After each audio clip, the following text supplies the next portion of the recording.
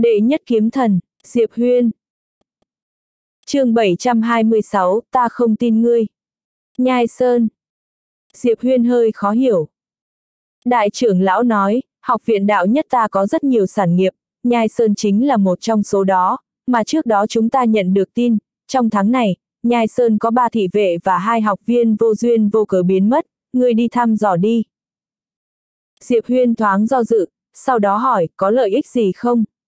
Nghe vậy, khóe miệng của mấy đạo sư trưởng lão trong điện giật giật. Đại trưởng lão nhìn Diệp Huyên, đương nhiên là có, nếu điều tra rõ ràng, giải quyết được chuyện ở Nhai Sơn, người có thể tiến vào tháp tử hỏa tu luyện nửa tháng miễn phí. Diệp Huyên vội vàng gật đầu, được, ta đi Nhai Sơn. Đại trưởng lão gật đầu, lui xuống đi. Diệp Huyên xoay người rời đi. Trong điện, đại trưởng lão nhìn theo Diệp Huyên, không biết đang nghĩ gì. Nguyên sư ở bên cạnh đột nhiên nói với giọng điệu nặng nề, các vị, không thể phủ nhận, người này rất có thiên phú, dù ở trong nội viện thì cũng thuộc hàng đầu. Nhưng các vị cũng thấy tính cách của hắn đấy. Hoàn toàn là một kẻ nóng tính, nếu để hắn ở lại nội viện, e rằng nội viện này sẽ không được yên bình. Hơn nữa người này còn có khúc mắc với Nam Sơn, sau khi Nam Sơn xuất quan, e rằng bọn họ sẽ một mất một còn. Đại trưởng lão gật đầu, cho nên ta bảo hắn đến nhai sơn một chuyện, tạm thời hòa hoãn mâu thuẫn giữa hai người bọn họ. Một ông lão ở bên cạnh gật đầu, người này không phải rất xấu xa, chỉ là tính tình nóng nảy, cần mài rũ lại. Nói xong, ông ta nhìn đại trưởng lão, còn một chuyện nữa, gần đây chúng ta phát hiện xung quanh học viện đạo nhất xuất hiện một vài cao thủ, nhưng những người này đều đang ẩn núp. Nếu ta đoán không lầm, có lẽ bọn họ đến vì Diệp Huyên này. Đại trưởng lão nặng nề nói, biết là thế lực nào không? Ông lão lắc đầu, không biết, bọn họ đều nấp trong bóng tối, vẫn chưa ra mặt. Đại trưởng lão im lặng một lát, sau đó nói, khoảng thời gian này chú ý hơn một chút. Nguyên sư đột nhiên nói, bây giờ người ngoại giới đều cho rằng báu vật này ở học viện đạo nhất ta, cá nhân ta cảm thấy nên để Diệp Huyên này rời đi. Đại trưởng lão lắc đầu, dù hắn rời đi, người khác cũng sẽ cho rằng báu vật này ở trong tay học viện đạo nhất ta, mà vấn đề là báu vật này không hề ở trong tay chúng ta. Nguyên sư nói với giọng điệu nặng nề, còn ở trong tay Diệp Huyên kia. Nhưng đại trưởng lão, lúc trước ông. Đại trưởng lão nhìn ra ngoài điện, không biết đang nghĩ gì. Sau khi rời khỏi đại điện, Diệp Huyên ngẩng đầu nhìn lên chân trời. Đến bây giờ, hắn vẫn không liên lạc với Liên Nhi và An Lan Tú, vì bây giờ hắn phát hiện, học viện đạo nhất này muốn có được tháp giới ngục. Một lát sau, Diệp Huyên lắc đầu, bây giờ hắn cũng chỉ có thể đi được tới đâu hay tới đó thôi. Nửa canh giờ sau, Diệp Huyên rời khỏi học viện đạo nhất, đi đến Nhai Sơn. Diệp Huyên vừa rời khỏi học viện đạo nhất, một giọng nói đột nhiên vang lên trong đầu hắn, trở về. Giọng nói của đại thần tầng 2. Diệp Huyên cau mày, vì sao? Đại thần tầng 2 nhẹ giọng đáp, cảm nhận xung quanh đi. Diệp Huyên đứng lại cảm nhận xung quanh, không cảm nhận được gì cả. Diệp Huyên hơi khó hiểu, không có ai cả. Đại thần tầng 2 nói, ngươi không cảm nhận được người, vậy chứng minh được điều gì? Nghe vậy, sắc mặt Diệp Huyên trở nên nặng nề, người mà hắn không phát hiện ra, có nghĩa là thực lực của đối phương vượt xa hắn. Hắn không chút do dự, vội vã lùi về đạo nhất thành. Trong thành, Diệp Huyên nặng nề nói, đại thần tầng 2, có bao nhiêu người đi theo ta vậy? Đại thần tầng 2 đáp, 6 người, một người trong đó người có quen, cũng là ông lão trong điện khi nãy. Đại trưởng lão. Sắc mặt Diệp Huyên dần trở nên lạnh lẽo, đối phương chắc chắn không phải đến để bảo vệ hắn. Diệp Huyên đứng tại chỗ rất lâu, một lát sau, hắn hơi cong môi. Nửa khắc sau, Diệp Huyên rời khỏi đạo nhất thành, nhưng hắn còn chưa đi quá xa, một ông lão mặc áo bảo xám đã xuất hiện trước mặt hắn. Ông lão áo xám nhìn Diệp Huyên, đang muốn nói chuyện, Diệp Huyên đột nhiên nói, ông đến vì báu vật kia sao? Ông lão áo xám hơi sửng sốt, mà lúc này, Diệp Huyên lại nói, ông đến muộn rồi. Ông lão áo xám nhìn chằm chằm Diệp Huyên rất lâu, cuối cùng, một thần thức của ông ta rơi vào người Diệp Huyên, Diệp Huyên cũng không phản kháng, từ trong ra ngoài của Diệp Huyên nhanh chóng bị quét một lượt, kể cả trong nhẫn chứa đồ. Không có gì cả. Thấy thế, ông lão áo xám xa sầm mặt. Một lát sau, ông ta nhìn Diệp Huyên, ta không tin ngươi. Diệp Huyên xoay người bỏ chạy, tốc độ rất nhanh, chớp mặt một cái đã chạy về đến đạo nhất thành. Ông lão áo xám ngây người. chương 727, Đại thần tầng 2, người đừng lừa ta nhé. Chạy. Vẻ mặt ông lão áo xám hơi khó coi, ông ta lạnh lùng nhìn thoáng qua đạo nhất thành cách đó không xa, để xem ngươi có thể trốn bao lâu. Vừa dứt lời, ông ta đã biến mất không còn bóng dáng. Trong thành, Diệp Huyên lắc đầu thở dài, những cao thủ này không dễ lừa gạt. Diệp Huyên trầm ngâm suy nghĩ trong góc tường. Thật ra hắn biết những người bên ngoài này đều đoán tháp giới ngục trên người hắn đã rơi vào tay học viện đạo nhất, chỉ là họ không dám công khai đi tìm học viện đạo nhất, nhưng họ dám tìm hắn. Do đó chiêu rời thù hận này hoàn toàn vô dụng, những người này vẫn sẽ không bỏ qua cho hắn. Như nghĩ đến gì đó, Diệp Huyên trầm giọng hỏi, đại thần tầng 2, người có thể giúp ta đánh nhau không? Không thể, đại thần tầng 2 trả lời một cách rất quyết đoán. Tại sao, Diệp Huyên hơi khó hiểu. Đại thần tầng 2 lạnh nhạt đáp, ta phải phục hồi nguyên khí. Diệp Huyên cười khổ. Đại thần tầng 2 không thể ra tay, tầng 4 cũng không thể ra tay, hắn chỉ có thể dựa vào chính mình. Nhưng hắn không đánh lại người ta. Khi nào không đánh lại thì phải dùng trí. Lúc này đại thần tầng 2 bỗng lên tiếng, người có thể mượn thanh kiếm bên phải ngoài cùng trong số 3 thanh kiếm trên đỉnh tháp. Diệp Huyên nghe vậy thì lập tức sửng sốt, ngay sau đó hắn vội vàng hỏi, mượn. Không phải thanh kiếm đó đang trấn áp tháp này sao? Đại thần tầng 2 hờ hững đáp, tháp này có một tia kiếm quang do nàng ấy hóa thành trấn áp, nó sẽ không xảy ra chuyện gì trong thời gian ngắn. Vì vậy ngươi có thể mượn thanh kiếm đó. Tất nhiên với thực lực của ngươi hiện tại, ngươi không thể lấy được thanh kiếm này. Diệp Huyên trầm giọng nói, đại thần tầng 2, người đừng lừa ta nhé. Nếu ta rút thanh kiếm này ra, tháp này sụp đổ thì ta cũng xong đời. Cút! Một tiếng quát giận dữ đột nhiên vang lên từ tầng 2. Diệp Huyên cười ngượng ngùng, đừng giận, đừng giận, là do ta nói sai. Đại thần tầng 2 không trả lời nữa. Diệp Huyên sử dụng khí hỗn độn để lặng lẽ ẩn thân, sau đó tìm một chỗ không người tiến vào tháp giới ngục. Hắn lên tới đỉnh của tháp giới ngục, trước mặt hắn có ba thanh kiếm, cảm giác mà ba thanh kiếm mang lại cho hắn đều khác nhau. Cuối cùng tầm mắt của hắn rơi vào thanh kiếm ngoài cùng bên phải. Diệp Huyên nhìn thanh kiếm này, hắn do dự một lúc rồi đặt tay phải lên chuôi kiếm. Kiếm khẽ run lên, cả tháp giới ngục cũng run theo nó. Diệp Huyên kéo nhẹ lên, thanh kiếm lập tức bị hắn rút ra. Rất nhẹ nhàng. Bản thân Diệp Huyên cũng có chút kinh ngạc bởi vì quá dễ dàng. Nhưng lúc này kiếm khẽ run, một tiếng kiếm reo nhỏ xíu bỗng vang vọng, tiếp đó một luồng kiếm thế vô hình xuất hiện phía trên đầu Diệp Huyên.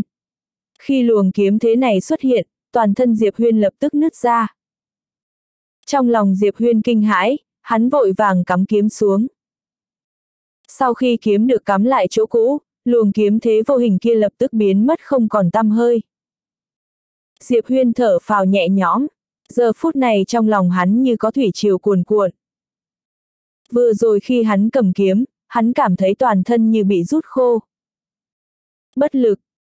Cảm giác bất lực sâu sắc. Ngoài ra, sức mạnh của luồng kiếm thế đó mạnh đến nỗi ngay cả hắn cũng không thể chịu nổi.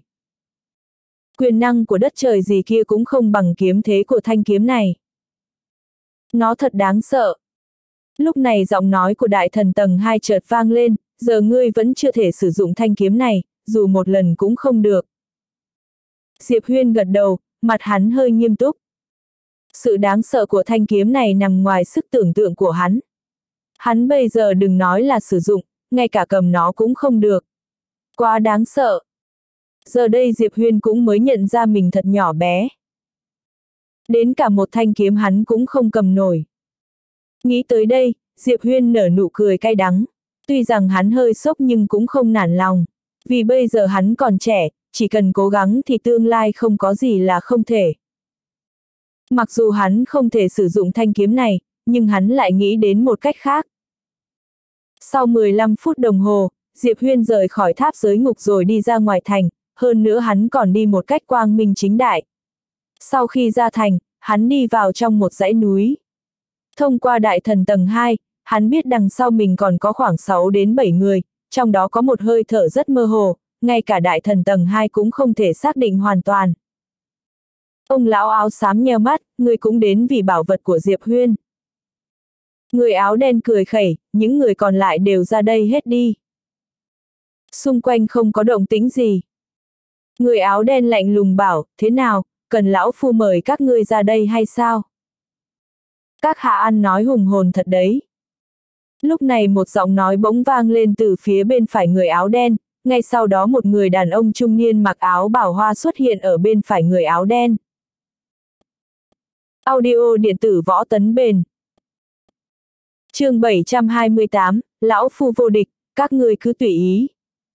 Người đàn ông trung niên cầm hai quả cầu bạch ngọc trong tay. Hai quả cầu chạm nhẹ vào nhau, thỉnh thoảng phát ra vài tiếng ma sát chói tai. Người đàn ông trung niên nhìn người áo đen, ông ta cười khẩy, để ta đoán xem nào, các hạ hẳn là người sau lưng Diệp Huyên nhỉ. Người áo đen hờ hững nói, kẻ nào muốn chiếm đoạt món bảo vật kia đều ra đây, tự giới thiệu về mình đi. Người đàn ông trung niên cười nói, thế nào, các hạ muốn giải quyết tất cả chúng ta cùng một lúc sao? Nói xong, ông ta quan sát người áo đen rồi cười bảo, không thể không nói các hạ quả thật rất kỳ quái, nhưng nếu chỉ như thế thì e là không trấn áp được chúng ta đâu. Người áo đen lạnh nhạt nói, người tự tin lắm. Người đàn ông trung niên mỉm cười, tự tin xuất phát từ thực lực. Sau đó ông ta nhìn thoáng qua xung quanh, có vẻ như họ đều không muốn xuất hiện, vậy thì để ta mở đầu trước. Ta, Mạc Ngôn Tiêu, Tông chủ thượng Tiêu Tông. Người áo đen đột nhiên chỉ tay phải qua bên trái, 30 trượng phía trước, ông lão kia đừng nhìn nữa. Là người đấy, ra đây đi. Sau nháy mắt yên lặng, một ông lão xuất hiện ở nơi mà người áo đen chỉ tay. Mạc ngôn tiêu thấy vậy thì nheo mắt lại, còn ông lão kia chỉ nhìn chằm chằm vào người áo đen.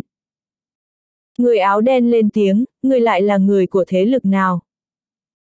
Ông lão đang định trả lời, lúc này Mạc Ngôn Tiêu ở bên cạnh bỗng cười đáp, Cố Tiên Phong, đại trưởng lão Thái Nhất Tông. Ông lão lạnh lùng liếc nhìn Mạc Ngôn Tiêu, ông ta không nói lời nào. Lúc này người áo đen bỗng nhiên chỉ về phía trước, cách đó 40 trượng, người mặc đồ trắng, xuất hiện đi. Diệp Huyên vừa dứt lời, một người đàn ông trung niên mặc áo trắng đã xuất hiện. Khi nhìn thấy người này, cả hai người cố tiên phong và mạc ngôn tiêu đều cau mày. Người đàn ông trung niên áo trắng nhìn người áo đen, bái phục. Người áo đen hỏi, người lại là người của tông môn nào? Người đàn ông trung niên áo trắng lạnh nhạt đáp, Phương Thiền, vãng sinh môn. Người áo đen khẽ gật đầu, ba người còn lại, các ngươi tự xuất hiện hay để ta mời các ngươi? Thú vị! Một giọng nói đột nhiên vang lên ở phía trước người áo đen không xa, ngay sau đó một ông lão tóc trắng xuất hiện. Ông lão tóc trắng mỉm cười, có vẻ hôm nay đã gặp được cao thủ tuyệt thế. Lão Phu cũng rất tò mò về thân phận của các hạ. Ông ta tạm dừng, sau đó cười bảo, quên tự giới thiệu. Lão Phu là tán tu của một giới, không môn không phái, đến đây vì món bảo vật kia. Người áo đen chậm rãi siết chặt tay phải, hai người còn lại thì sao? Ngay sau đó hai người áo đen xuất hiện ở bên cạnh. Cả hai đứng cùng nhau, hiển nhiên họ là đồng bọn. Người áo đen khẽ gật đầu, hắn lại nói còn một người nữa. Thế nào, đường đường là đại trưởng lão của học viện đạo nhất lại nhát gan thế ư. Người áo đen vừa nói xong, một ông lão lặng lẽ xuất hiện ở một bên. Người đến chính là đại trưởng lão của học viện đạo nhất. Đại trưởng lão nhìn chằm chằm vào người áo đen, phải gọi các hạ như thế nào đây? Người áo đen khẽ lắc đầu, đại trưởng lão, người đến để bảo vệ Diệp Huyên hay là tranh giành bảo vật này giống họ? Đại trưởng lão lạnh nhạt hỏi, chuyện này liên quan gì tới các hạ? Người áo đen cười khẽ tất nhiên là có liên quan tới ta. Nếu là cái trước thì đương nhiên không có gì. Nếu là cái sau, nói không chừng hôm nay lão phu sẽ phải chấn chỉnh lại môn phái rồi. Nghe vậy, mọi người đều ngẩn ra, người áo đen này cũng là người của học viện đạo nhất. Đại trưởng lão nhìn chằm chằm vào người áo đen, người chắc chắn không phải người của học viện đạo nhất ta. Rốt cuộc ngươi là người phương nào? Người áo đen hỏi, người muốn xem. Mạc ngôn tiêu cười đáp, xin các hạ hãy ra tay. Mọi người đều đang nhìn người áo đen. chương 729, không biết tiền bối tên là gì. Xung quanh lặng ngắt như tờ. Mọi người đều đang nhìn thanh kiếm kia, trong mắt họ ngoài vẻ nghiêm túc còn có vẻ kiêng rẻ sâu sắc. Ngay cả mạc ngôn tiêu, người luôn ung dung, lúc này cũng tỏ ra nghiêm túc. Thanh kiếm này mang lại cho người ta cảm giác như nó có thể chém nát một vùng tinh không. Mạnh. Mạnh một cách vô lý. Lúc này giọng nói của người áo đen lại vang lên, thế nào, không ai ra tay. Mạc ngôn tiêu nhìn người áo đen, trầm giọng hỏi, không biết tiền bối tên là gì. Tiền bối. Người vừa ra tay là biết ngay cao thủ. Người áo đen trước mặt chỉ mới xuất kiếm đã đáng sợ như thế. Nếu hắn ra tay thì chẳng phải sẽ kinh thiên động địa, quỷ thần khiếp sợ sao?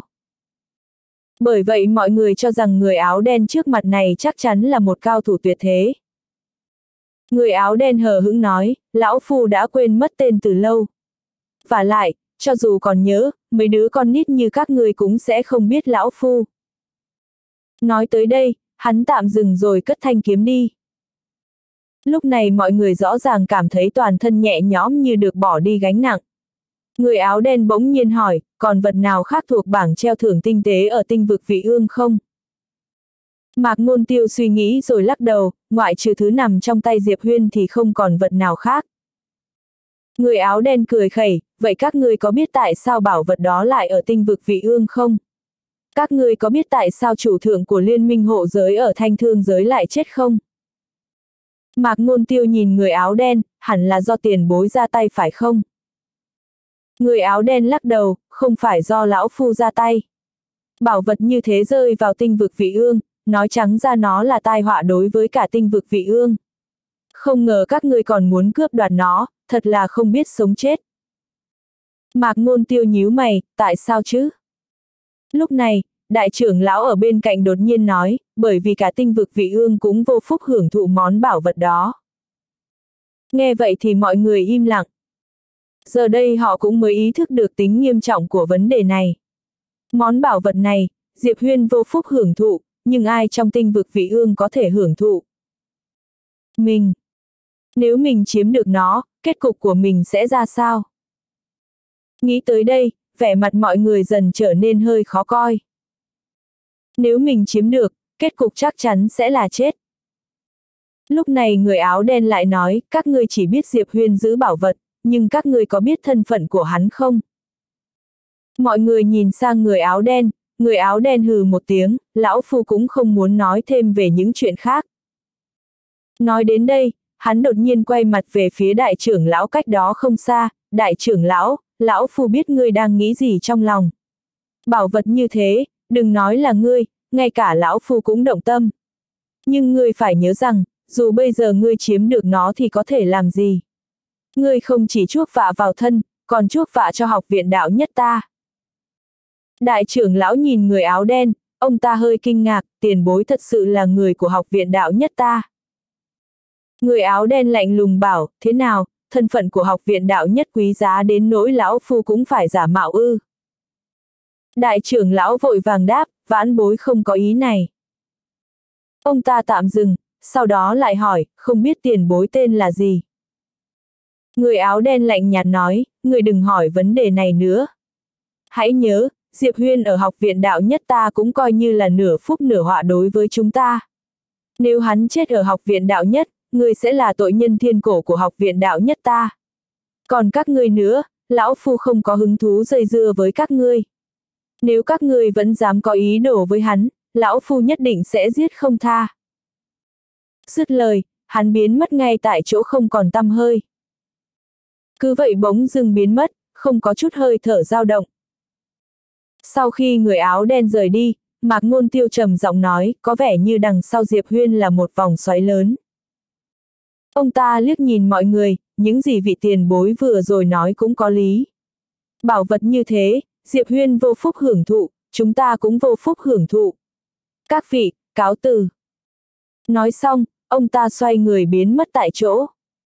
Sau khi mạc ngôn tiêu đi, những người khác cũng lần lượt rời đi, cuối cùng chỉ còn lại hai người. Hai người này chính là đại trưởng lão của học viện đạo nhất và Phương Thiền, môn chủ vãng sinh môn. Phương Thiền nhìn về nơi người áo đen biến mất, nhẹ giọng nói, thủ đoạn như vậy quả thật khó lường. Ông ta mỉm cười, thật đáng tiếc, lúc nãy nên đánh một trận mới đúng. Nếu có thể đánh nhau với cao thủ như thế chắc chắn sẽ được lợi rất nhiều. Đại trưởng lão lạnh nhạt hỏi, người có thể đỡ một kiếm kia ư? Nghe vậy, nụ cười trên mặt Phương Thiền dần biến mất. Đại trưởng lão nhìn nơi người áo đen biến mất, ông ta trầm mặc suy nghĩ. Tiền bối của học viện đạo nhất. Trong ấn tượng của ông ta, hình như học viện đạo nhất không có một cao thủ dùng kiếm nào mạnh như vậy, nghìn năm qua cũng không. Chẳng lẽ là hơn một nghìn năm? Nghĩ đến đây, vẻ mặt của đại trưởng lão dần trở nên nặng nề. Một lát sau, đại trưởng lão quay lưng rời đi, lúc này Phương Thiền chợt lên tiếng, đại trưởng lão, theo ta được biết, hình như Diệp Huyên luôn bị nhầm vào khi ở học viện đạo nhất ngươi. Đại trưởng lão dừng lại nhìn Phương Thiền, Phương Thiền cười bảo, lúc nãy vị tiền bối kia cũng đã nói, Diệp Huyên ở học viện đạo nhất ngươi là nửa phúc nửa họa. Hay thế này đi, ngươi nhường hắn cho vãng sinh môn ta nhé. Đại trưởng lão cười gần, cút. Diệp Huyên nghĩ đến thanh kiếm kia, nếu hắn có thể cầm được thanh kiếm đó, hắn chỉ cần một nhát kiếm là có thể xử những cao thủ vừa nãy.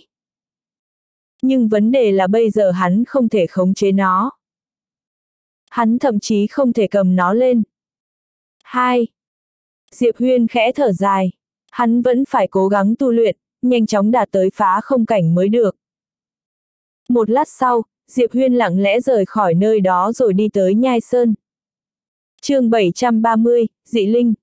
Nhai Sơn cũng không lớn lắm. Tuy nó không lớn nhưng đây là một ngọn núi báu, bởi vì hàng năm nơi đây sản sinh ra gần một triệu tử nguyên tinh. Đương nhiên có rất nhiều người mơ ước ngọn núi báu này, có điều không một thế lực nào dám ra tay vì nó là của học viện đạo nhất. Tên tuổi của học viện đạo nhất rất có sức gian đe ở tinh vực vị ương. Người tiếp đón Diệp Huyên là một ông lão tên Lưu Ôn, người phụ trách sự vụ ở Nhai Sơn. Trong một đại điện, Lưu Ôn nhìn Diệp Huyên, Diệp công tử, học viện không cử người khác đến sao? Diệp Huyên cười đáp, một mình ta chưa đủ à? Lưu Ôn lắc đầu, đương nhiên là đủ. Diệp Huyên bảo, nói cho ta biết tình hình cụ thể đi. Lưu Ôn trầm giọng trả lời, gần đây Nhai Sơn luôn có người mất tích. Không chỉ có người mất tích, mà tử nguyên tinh trong lòng đất cũng suy giảm liên tục. Ta đã điều tra lâu rồi nhưng không có manh mối nào cả. Diệp Huyên hỏi, có khi nào là do thế lực bên ngoài làm không? Lưu ôn lắc đầu, ta cảm thấy không phải. Tại sao? Diệp Huyên hỏi. Lưu ôn trầm giọng đáp, nếu do thế lực bên ngoài làm, tại sao cứ một thời gian họ lại giết một người? Hơn nữa, tại sao họ chỉ lấy đi một ít tử nguyên tinh? Diệp Huyên suy nghĩ, sau đó gật đầu, cũng đúng. Vậy nếu không phải người ngoài thì là người mình à? Lưu ôn cười khổ, bây giờ nơi này người mình chỉ còn lại ta. Những người khác đều đã chết, hoặc là bỏ đi. Diệp Huyên. Một lát sau, Diệp Huyên hỏi, những người đã chết kia đang ở đâu? Lưu ôn trả lời, dưới lòng đất.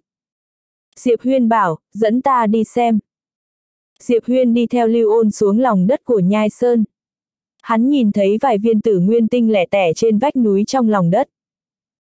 Lưu Ôn lên tiếng, những viên tử nguyên tinh này còn nhỏ, khí tử nguyên trong đó vẫn chưa đủ nên chưa đến lúc khai thác. Diệp Huyên khẽ gật đầu, Nhai Sơn là nguồn thu nhập lớn nhất của học viện đạo nhất sao? Lưu Ôn lắc đầu, cũng không hẳn, nguồn thu nhập lớn nhất của học viện đạo nhất ta là đạo nhất thành. Trong thành có rất nhiều thế lực tập trung, họ phải trả tiền thuê hàng năm cho học viện đạo nhất ta. Tiền thuê một tháng ở khu vực trước cửa thành thôi đã cao gấp mấy lần so với thu nhập một năm của nhai sơn chúng ta. Nghe vậy, Diệp Huyên đã hiểu. Hắn đã hiểu tại sao học viện đạo nhất lại cử hắn đến đây, bởi vì đây không phải là một nơi quan trọng. Đồng thời hắn cũng phát hiện tài sản của những thế lực lớn này thật sự rất kinh người. Hiện tại hắn còn 800.000 viên tử nguyên tinh đã được coi là rất nhiều. Nhưng so sánh với những thế lực này, không đúng, hắn hoàn toàn không thể so sánh.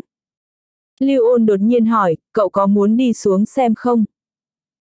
Diệp Huyên nghĩ ngợi, hắn đang định trả lời thì giọng nói của đại thần tầng 2 chợt vang lên trong đầu hắn, bên dưới có dị linh, cẩn thận một chút. Dị linh.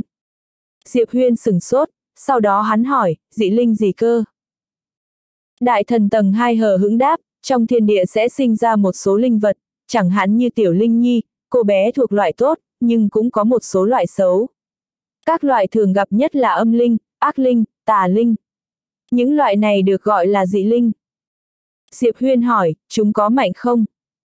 Đại thần tầng 2 hỏi ngược lại, người cảm thấy tiểu linh nhi có mạnh không?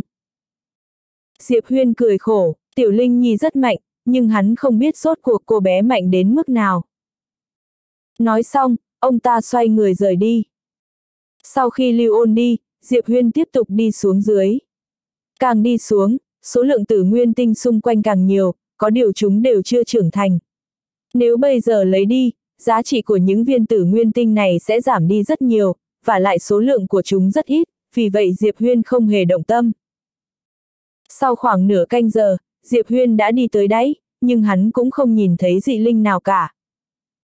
Diệp Huyên trầm giọng hỏi, đại thần tầng 2, người có thể phát hiện ra sự tồn tại của nó không? Đại thần tầng 2 đáp, nó vẫn luôn đi theo ngươi. Diệp Huyên chương 731, loài người đáng chết. Diệp Huyên sầm mặt lại, người chắc chắn chứ? Đại thần tầng hai bảo, người xoay người lại mà xem. Ngôn tình hài. Diệp Huyên xoay người lại, đằng sau không có gì cả, lúc này giọng của đại thần tầng 2 lại vang lên, xoay người tiếp. Diệp Huyên lập tức xoay người, vẫn không có gì. Diệp Huyên sầm mặt, người đang đùa ta à? Vừa dứt lời, hắn dường như cảm nhận được gì đó bèn quay phát lại, sau đó hắn nhìn thấy một chiếc vuốt nhỏ đỏ như máu đang vồ về phía mình. Trong lòng Diệp Huyên kinh hãi, hắn vội vàng lùi lại. Cùng lúc đó một thanh kiếm bay ra khỏi hộp kiếm sau lưng hắn, chém vào móng vuốt kia. Bang! Chiếc vuốt kia run rẩy kịch liệt rồi rụt lại. Trước mặt Diệp Huyên có một cậu bé đang đứng. Nó không lớn lắm, trông khoảng 2-3 tuổi. Tóc nó tết thành một chiếc sừng dê, toàn thân đỏ như máu, mặt mũi khá xấu xí, nhìn nó có vẻ không phải loại hiền lành. Dị Linh. Cậu bé nhìn chằm chằm vào Diệp Huyên, vẻ tham lam trong mắt không hề che giấu. Diệp Huyên cau mày, trong lòng hỏi, đây là dị linh gì? Sau một lát yên lặng, đại thần tầng 2 trả lời, có lẽ là huyết linh trong truyền thuyết. Nó được ngưng tụ từ máu, bản tính khát máu.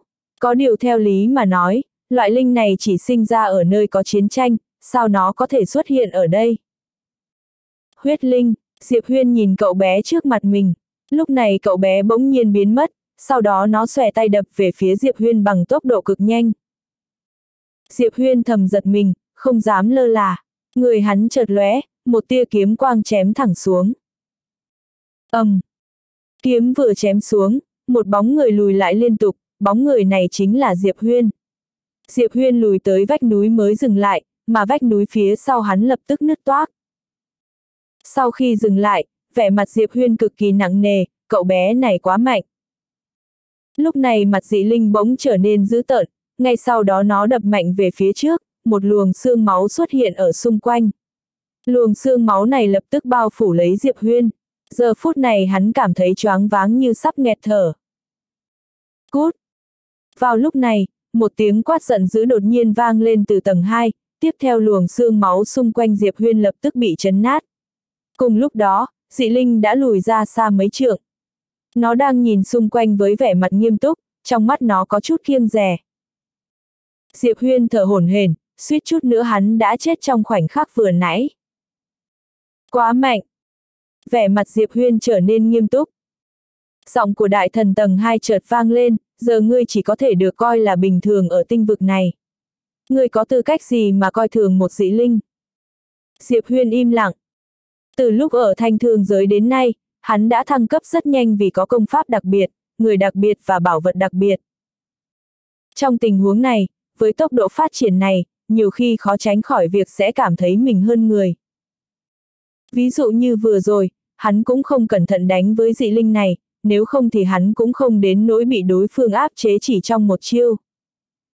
Lúc này tầm mắt của dị linh đột nhiên rơi vào Diệp Huyên.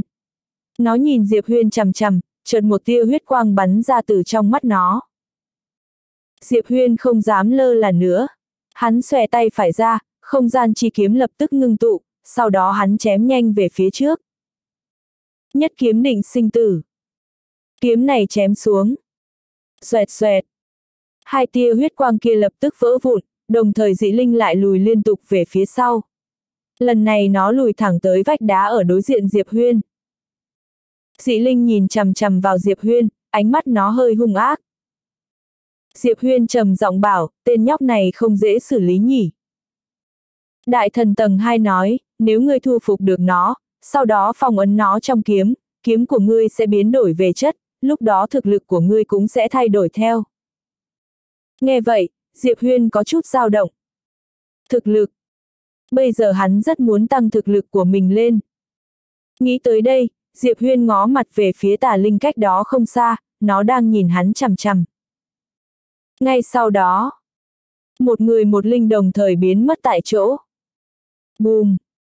Một tiếng nổ bỗng vang lên, tiếp đó một tia huyết mang và kiếm quang dao động ra xung quanh, bốn phía trở thành một mớ hỗn độn. Diệp Huyên cầm trường kiếm chĩa xiên xuống đất, trước mặt hắn không xa là một biển máu. Lúc này hắn không tìm được vị trí chính xác của dị linh nữa. Sau nháy mắt yên lặng, Diệp Huyên đột nhiên xoay người bỏ chạy với tốc độ cực nhanh, trong chớp mắt đã biến mất không còn bóng dáng. Diệp Huyên vừa biến mất, một tia sáng đỏ đã bắn ra đuổi theo sát Diệp Huyên. Nhưng sau khi nó đi qua một khúc ngoặt thì chợt dừng lại, bởi vì nó không nhìn thấy Diệp Huyên, ngay cả hơi thở của hắn cũng không còn nữa. Dị Linh nhìn lướt qua xung quanh, một thanh kiếm thình lình xuất hiện phía trên đầu nó mà không hề báo trước. Thanh kiếm đột nhiên xuất hiện khiến dị linh lập tức đổi sắc mặt, một luồng huyết mang chấn ra từ trong cơ thể nó. Âm. Um. Đúng. Giọng của tiểu linh nhi cũng đột nhiên vang lên, loài người xấu nhất. Siêu siêu siêu xấu, loài người đáng chết. Diệp Huyên sầm mặt lại, hắn cảm thấy mình vừa nói giúp con người một câu đã khiến nhiều người tức giận. Đại thần tầng 2 lại nói, ở chỗ của ta, loài người đã chết hết. Diệp Huyên cau mày, tại sao vậy? Đại thần tầng 2 trả lời, vì loài người khiến muôn loài nổi giận nên đã bị các tộc khác liên hiệp giết sạch. chương 732, có ngươi thì không có y, có y thì không có ngươi. Diệp Huyên. Thả ra ta. Lúc này dị linh đột nhiên hét lên. Diệp Huyên chống kiếm vào giữa lông mày dị linh.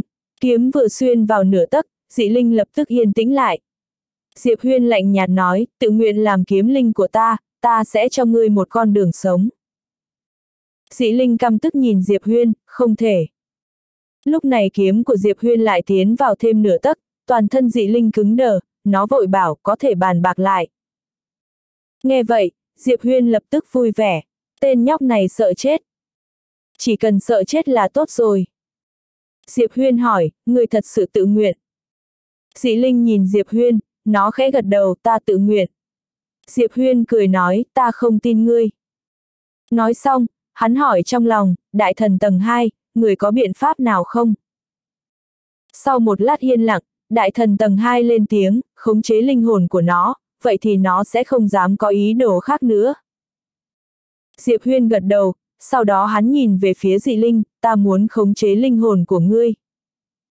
Nghe vậy, vẻ mặt của dị linh lập tức trở nên dữ tợn, nhưng lúc này Diệp Huyên lại nói, không muốn. Vậy thì chết. Dị linh nhìn chằm chằm vào Diệp Huyên, loài người đáng chết, sao ta có thể bị ngươi nô dịch cả đời. Ngươi ra tay đi.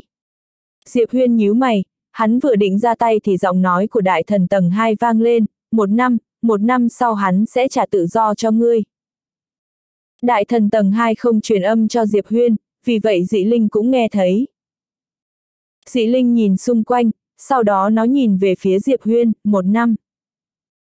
Diệp Huyên trầm giọng hỏi trong lòng, một năm có đủ không? Đại thần tầng 2 hờ hững đáp, nếu không đủ thì là do ngươi bất tài. Diệp Huyên cười gượng gạo, sau đó hắn gật đầu, một năm thì một năm. Chỉ đi theo một năm, dị linh nghĩ ngợi trong giây lát, vẻ mặt nó dần bình tĩnh lại. Một lát sau nó nhìn Diệp Huyên, một sợi tơ máu bỗng nhiên bay tới trước mặt Diệp Huyên, hắn nắm lấy tơ máu đó. Đại thần tầng hai bảo, bỏ nó vào trong thức hải, người sẽ có thể biết nó nghĩ gì và có thể chi phối sự sống chết của nó vào thời điểm quan trọng. Diệp Huyên không hề do dự, bỏ linh hồn kia vào trong thức hải của mình, ngay sau đó Diệp Huyên cảm thấy trong đầu mình có nhiều thông tin hơn. Thông tin của dị linh này. Không ngờ suy nghĩ của dị linh lúc này lại là giết chết hắn. Diệp Huyên lắc đầu, hắn không so đo với tên nhóc này, dù sao bây giờ sinh tử của đối phương cũng đang nằm trong một ý nghĩa của hắn. Diệp Huyên đang định đi thì dị linh chợt lên tiếng, bên dưới có đồ ta cất giữ, ta muốn mang đi. Bên dưới. Diệp Huyên nhìn xuống phía dưới, nơi đó không còn con đường nào khác. Chỗ này đã là đáy. Dị Linh đột nhiên bay qua bên phải Diệp Huyên không xa. Nó nhấn vuốt phải về phía trước, vách núi lập tức tách ra, sau đó nó chạy xuống dưới như một làn khói. Diệp Huyên vội vàng đi theo, ngay sau đó hắn sững sờ. Trước mặt hắn là một đống tử nguyên tinh chất trồng thành ngọn núi nhỏ. Lúc này trông hắn rất bình tĩnh, nhưng trong lòng hắn đã vui nở hoa rồi. Cứ như vậy, Diệp Huyên đưa Dĩ Linh đi ra ngoài nhai sơn, hắn còn đi tìm Lưu Ôn.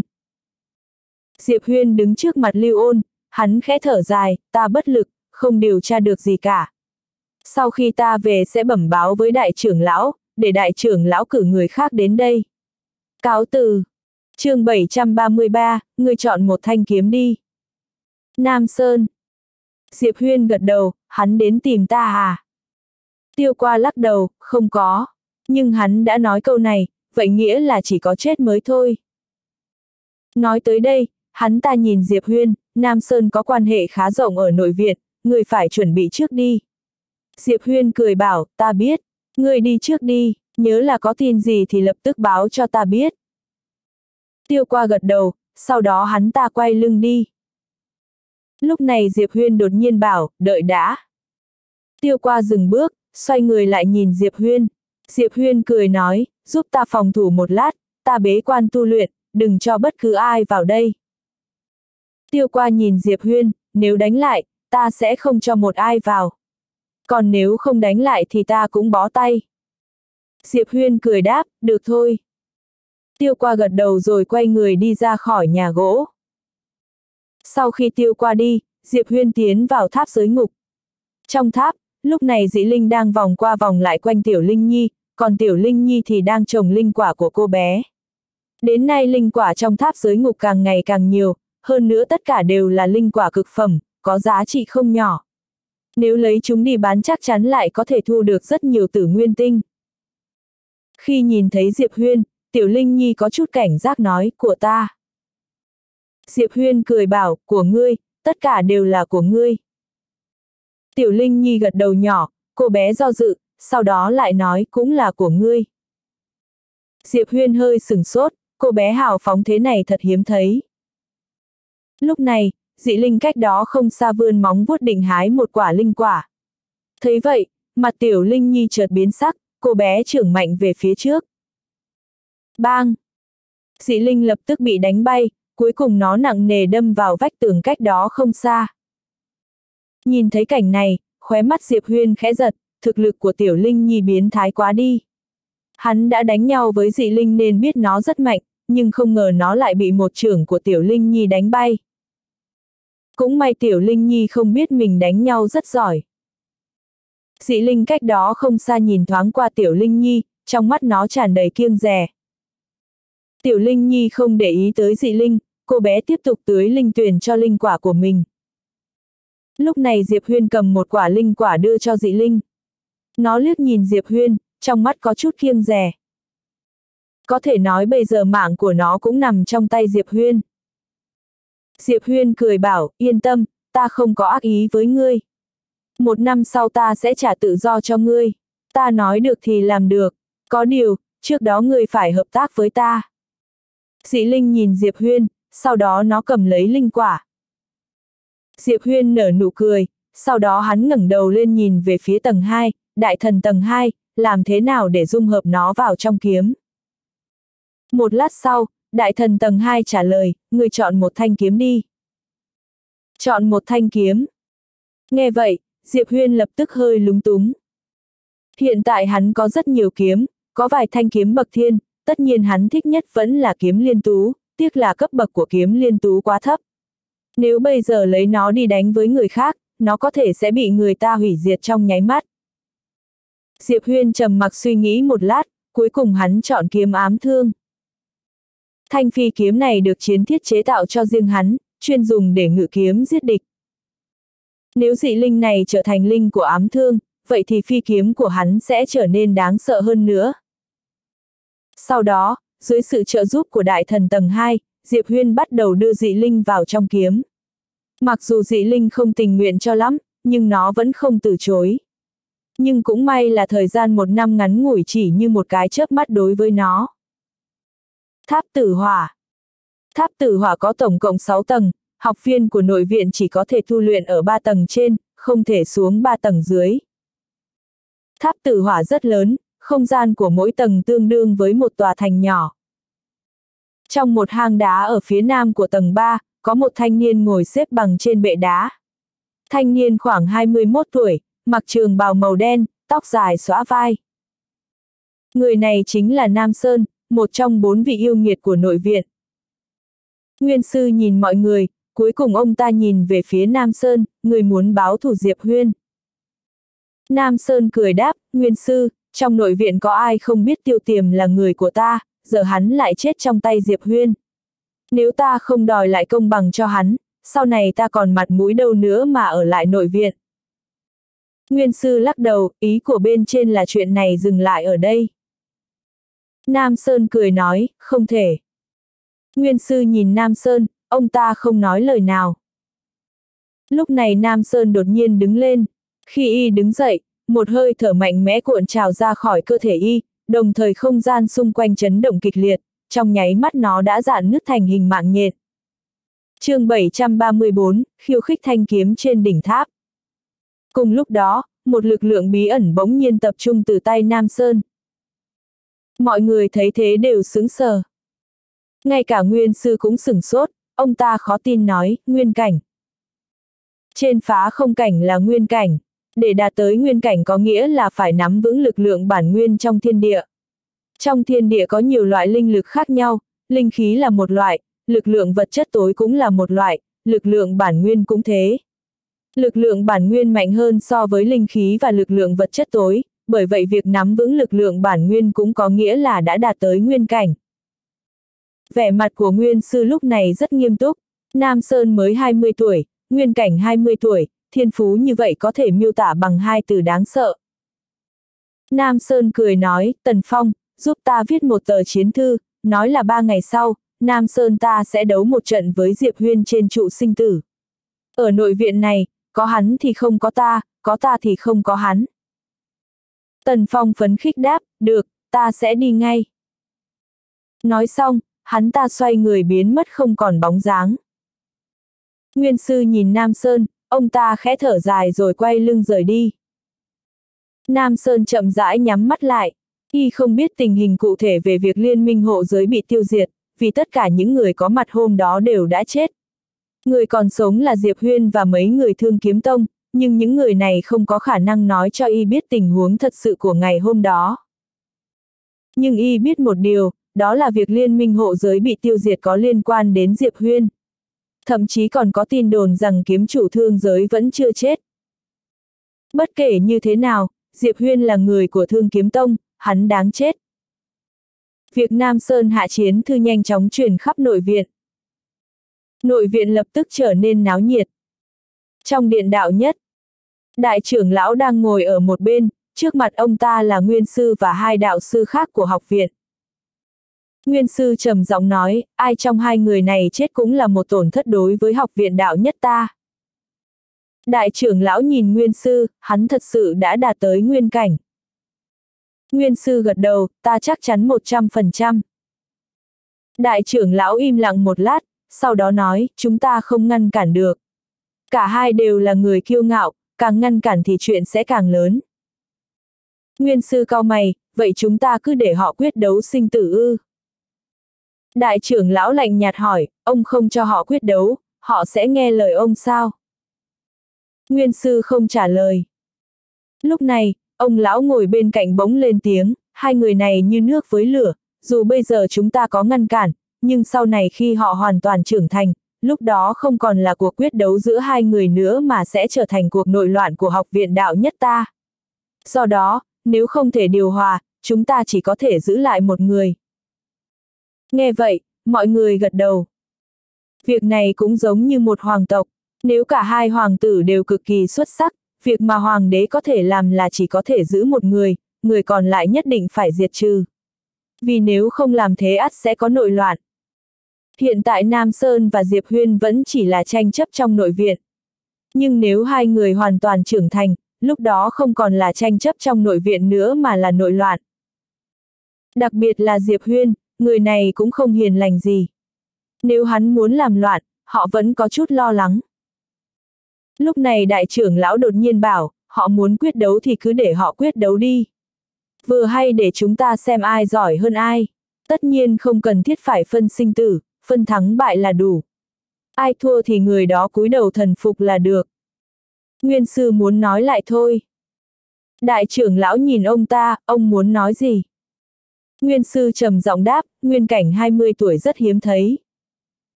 Đại trưởng lão hờ hững nói, kiếm tiên chưa tới 20 tuổi thì không hiếm thấy sao. Lão phu nói, cứ để họ đánh một trận, ai thua người đó cúi đầu thần phục. Nguyên sư suy nghĩ, sau đó ông ta gật đầu, cũng chỉ có thể làm vậy. Sau khi mọi người đi, trong điện đạo nhất chỉ còn lại một mình đại trưởng lão. Đại trưởng lão từ từ nhắm mắt, trong đầu lại hiện lên cảnh tượng mà ông ta nhìn thấy bên ngoài đạo nhất thành ngày hôm đó. Thanh kiếm kia. Đến tận bây giờ, mỗi khi nghĩ đến thanh kiếm đó, ông ta vẫn còn cảm thấy sợ hãi. Vô số tia kiếm quang đỏ máu bắn ra bốn phía từ bên trong kiếm ám thương. Nó muốn phá hủy tất cả mọi thứ xung quanh. Diệp Huyên cách đó không xa sầm mặt lại, ta khuyên ngươi nên khiêm tốn một chút. Nhưng kiếm ám thương hoàn toàn không quan tâm, chỉ có điều kiếm khí của nó vẫn chưa thể làm dung chuyển tháp giới ngục.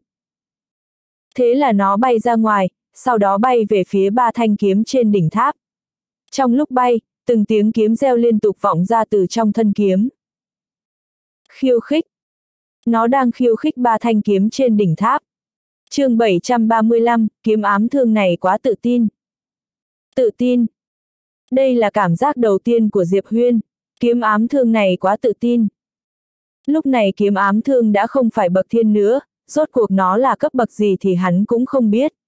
Đương nhiên có thể chắc chắn là thanh kiếm này thật sự đã xảy ra thay đổi nghiêng trời lệch đất. Nhưng sự thay đổi có lợi hại đến mấy cũng không thể lợi hại hơn ba thanh kiếm trên đỉnh tháp được. Kiếm vừa bay tới trước ba thanh kiếm. Ong! Thanh kiếm ở giữa trên đỉnh tháp đột nhiên rung lên. ầm, um.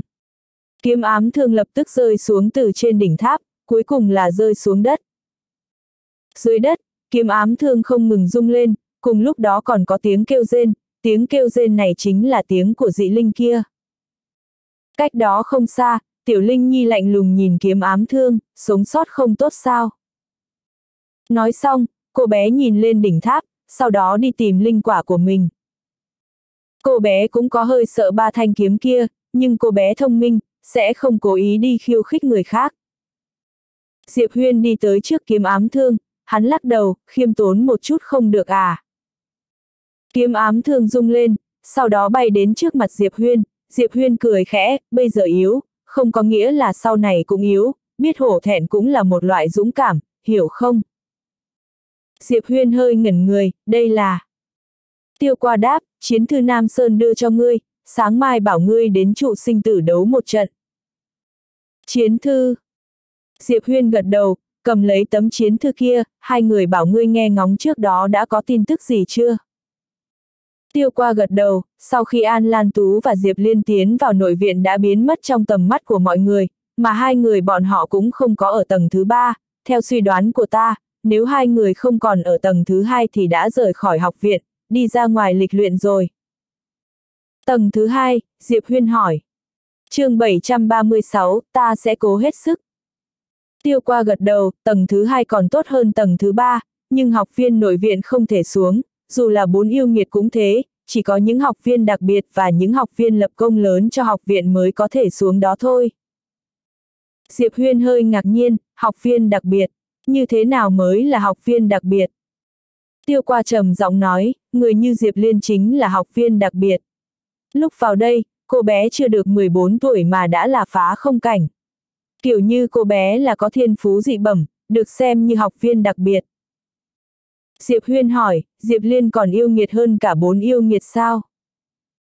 Tiêu qua cười khổ, cũng không thể nói như vậy, chỉ có thể nói là hai loại yêu nghiệt hoàn toàn không giống nhau, dù sao thì, cá nhân ta cảm thấy Diệp Liên không hề bình thường, vì đây là chuyện không phải người bình thường có thể làm được.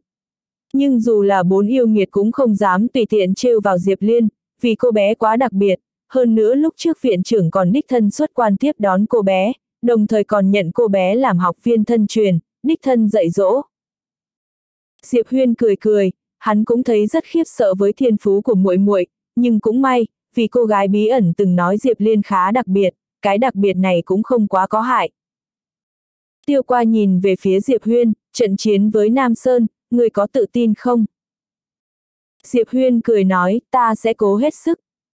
Tiêu qua gật đầu, Nam Sơn có thể trở thành một trong bốn yêu nghiệt, thực lực đương nhiên không thể nghi ngờ, người đừng nên xem thường. Diệp Huyên đáp, được.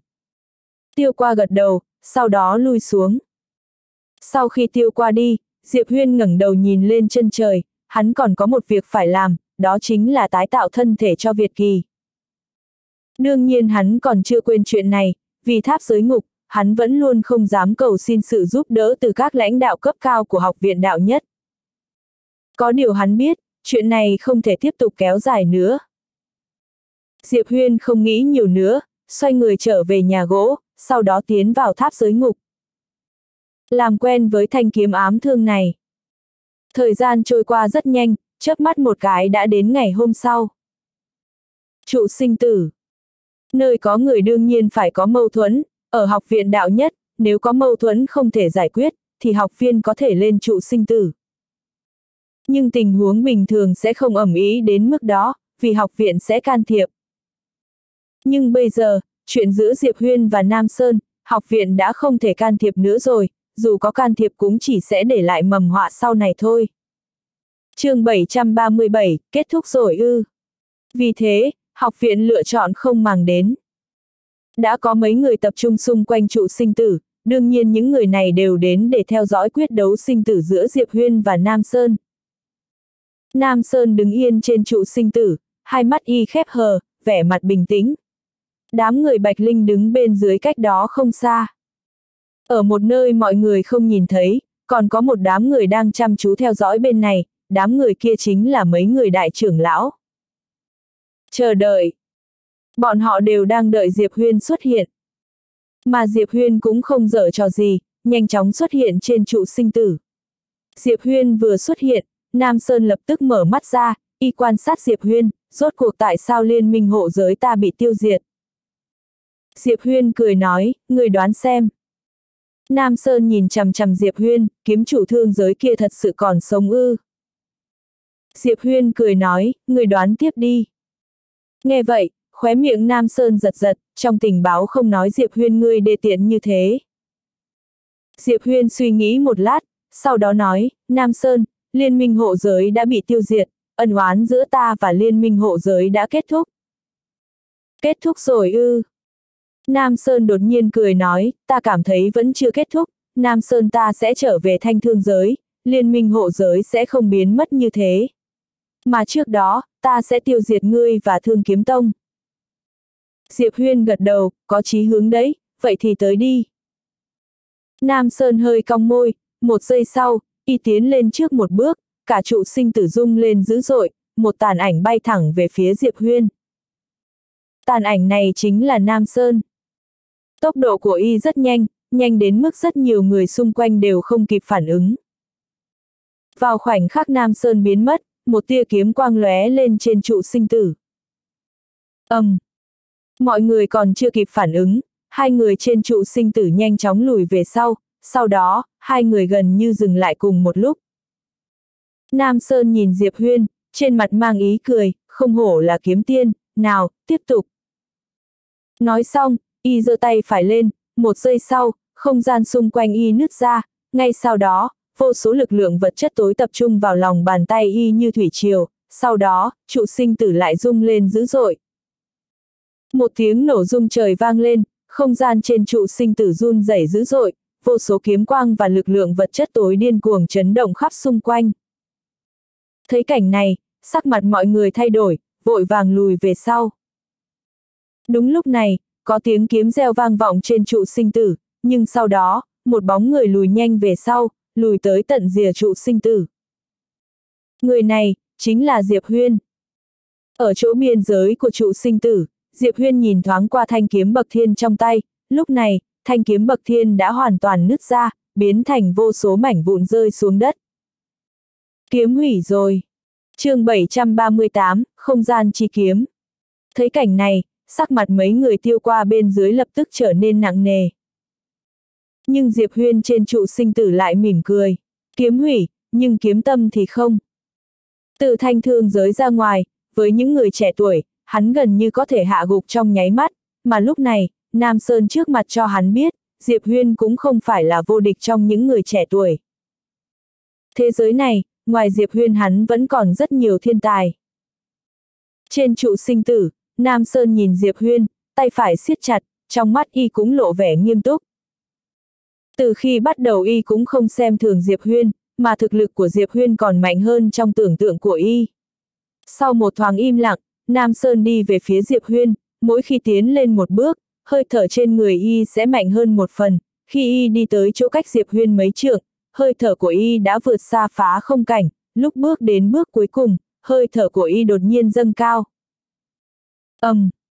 Cả trụ sinh tử lập tức nứt ra, một hơi thở mạnh tựa như núi lửa bùng nổ chấn động khắp xung quanh, không gian bắt đầu nhấp nhô như nước sôi, cực kỳ đáng sợ. Nguyên cảnh Nhìn thấy cảnh này, mọi người xung quanh lập tức ngẩn người. Trên trụ sinh tử, Nam Sơn nhìn Diệp Huyên, bình tĩnh nói, người lấy gì chiến đấu với ta?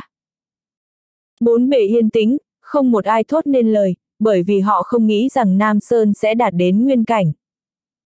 Phải biết chỉ có một số ít đạo sư ở nội viện học viện đạo nhất mới đạt được đến cảnh giới này, mà đạo sư ở ngoại viện chỉ mới đến phá không cảnh mà thôi. Thế mà một người trẻ tuổi như Nam Sơn lại có thể đạt đến nguyên cảnh, thiên phú ngần ấy chỉ có thể dùng hai từ kinh khủng để hình dung. Mọi ánh mắt lại nhanh chóng đổ dồn vào Diệp Huyên. Nam Sơn đã dùng đến con át chủ bài của mình, hắn thì sao? Trên trụ sinh tử, Diệp Huyên cười nói, chưa gì đã lộ bài tẩy à? Không muốn lãng phí thời gian hay sao? Nam Sơn cũng cười, đúng vậy. Sau khi giải quyết ngươi, ta sẽ trở về thanh thương giới, tổ chức lại liên minh hộ giới rồi xóa sổ thương kiếm tông của ngươi đi. Đáng tiếc ngươi sẽ không thấy được ngày ấy. Nói xong, y giơ tay phải lên, nắm lại thành quyền. Sau khi không gian chi kiếm ngưng tụ lại rồi, hai loại kiếm ý bỗng chốc ùa vào lấp đầy nó. Một khắc sau, nhất kiếm định sinh tử lao ra. Duỳnh. Trong mắt những người quan sát, vào giây phút trụ sinh tử dưới chân Diệp Huyên và Nam Sơn vỡ vụn, hai người họ đã liên tục thối lui. Bỗng nhiên, năm thanh phi kiếm vọt ra từ hộp kiếm sau lưng Diệp Huyên, phóng vun vút về phía Nam Sơn như năm tia chớp. Đồng tử Nam Sơn rụt lại, vung tay vỗ mạnh một cái về sau.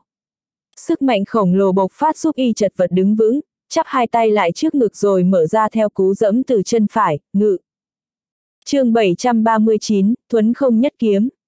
Một tấm khiên tròn màu đen tuyền lập tức ngưng tụ thành hình trước mặt y. Phập phập phập.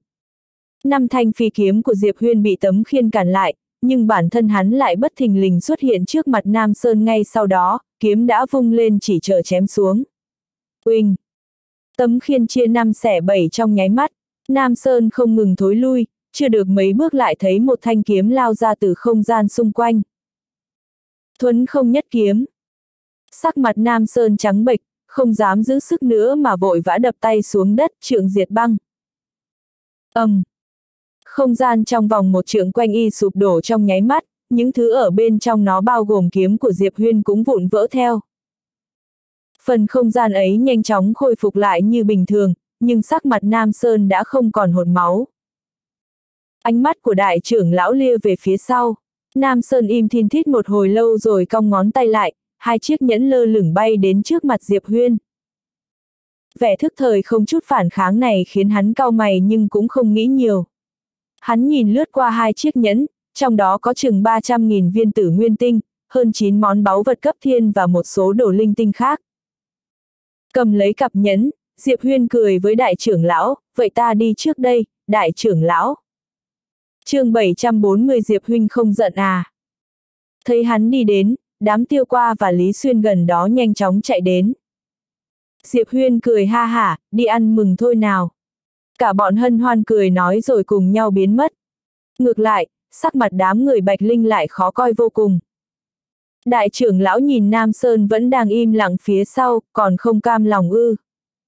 Thấy y không hé răng, ông ta tiếp tục, ngươi vừa đạt đến nguyên cảnh, không biết chút gì về nguyên lực. Chiêu mạnh nhất của ngươi là trượng diệt băng, nhưng không ngờ ngươi lại phải dùng đòn sát thủ này để bảo vệ mình. Nam Sơn khàn giọng đáp, quả thật không cam. Nếu ngươi nhìn theo một góc độ khác có lẽ sẽ cam tâm. Kiếm kỹ của hắn không hề yếu so với trượng diệt băng của ngươi, hơn nữa đường kiếm lại quỷ quyệt.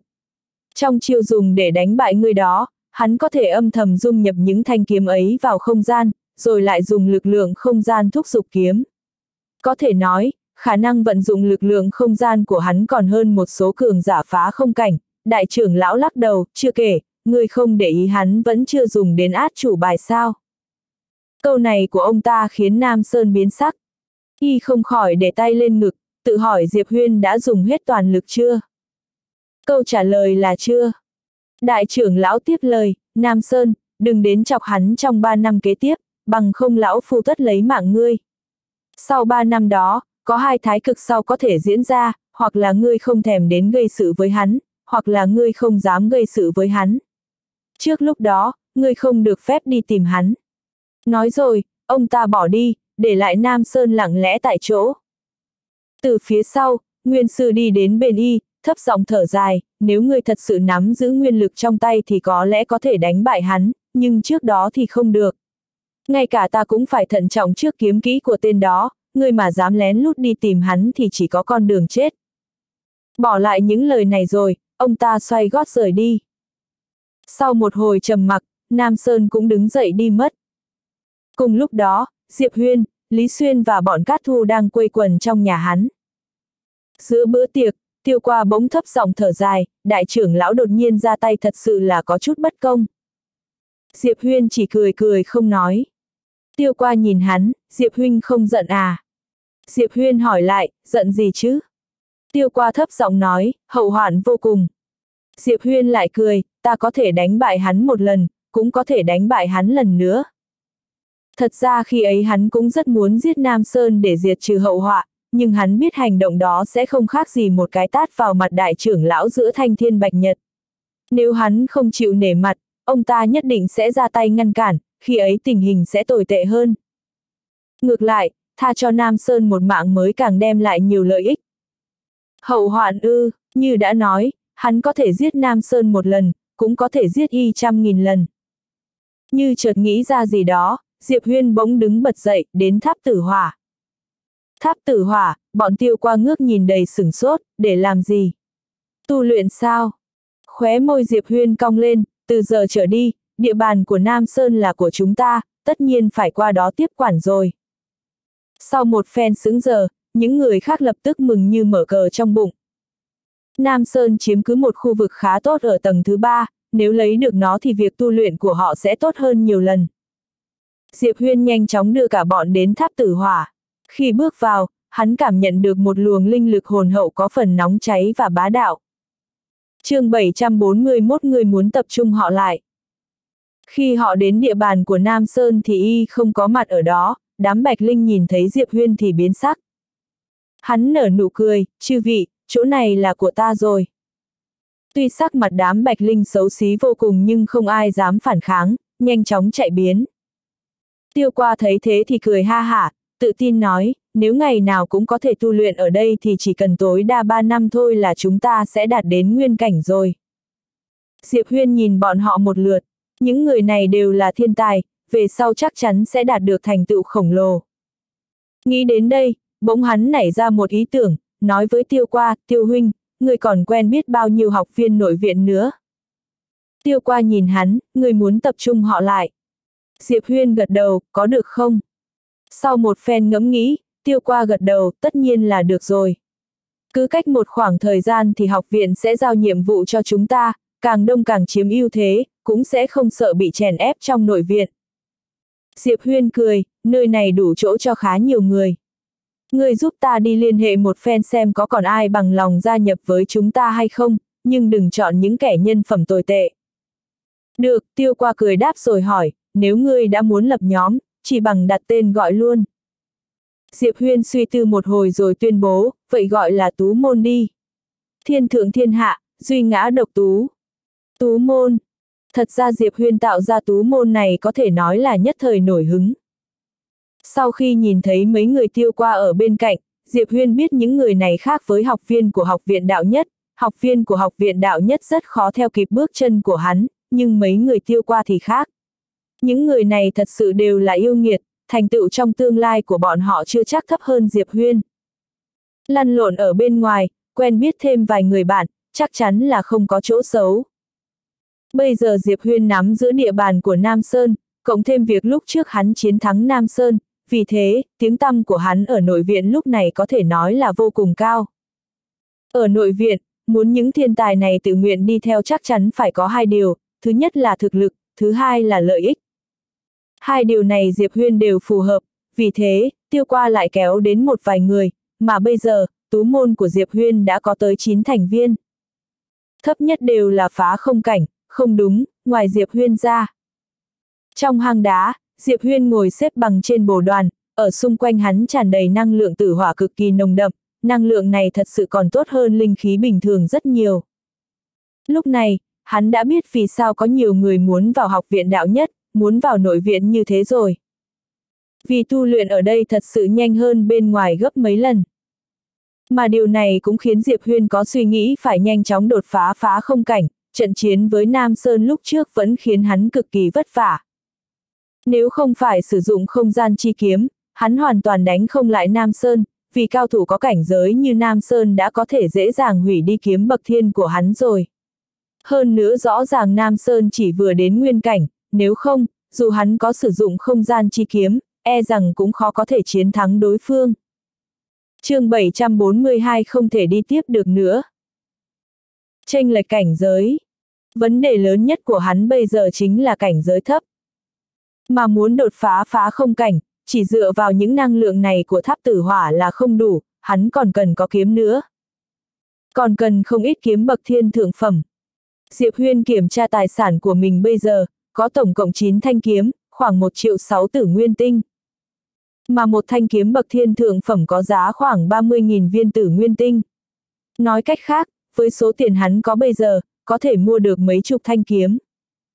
Nhưng trực giác cho hắn biết, có lẽ còn chưa đủ. Theo cảnh giới tăng lên, yêu cầu của hắn với kiếm, dù là số lượng hay chất lượng cũng ngày càng cao, điều này khiến hắn rất phiền não. Bây giờ mỗi lần hắn đột phá đều sẽ cần một khoản tiền khổng lồ. Nghèo. Vừa nghĩ đến việc đột phá phá không cảnh, Diệp Huyên đã cảm thấy mình cực kỳ nghèo. Kiếm tiền. Phải kiếm tiền. Hình như nhớ đến điều gì, Diệp Huyên tìm tiêu qua, hỏi, lúc trước ngươi từng nói với ta, trong tháp tử hỏa này có tử hỏa tinh. Tiêu qua gật đầu, bên dưới tháp tử hỏa có một con đường tên là đường tử hỏa, ở nơi sâu trong đường tử hỏa có tử hỏa tinh, nhưng rất nguy hiểm. Nguy hiểm, Diệp Huyên hỏi, sao lại nguy hiểm?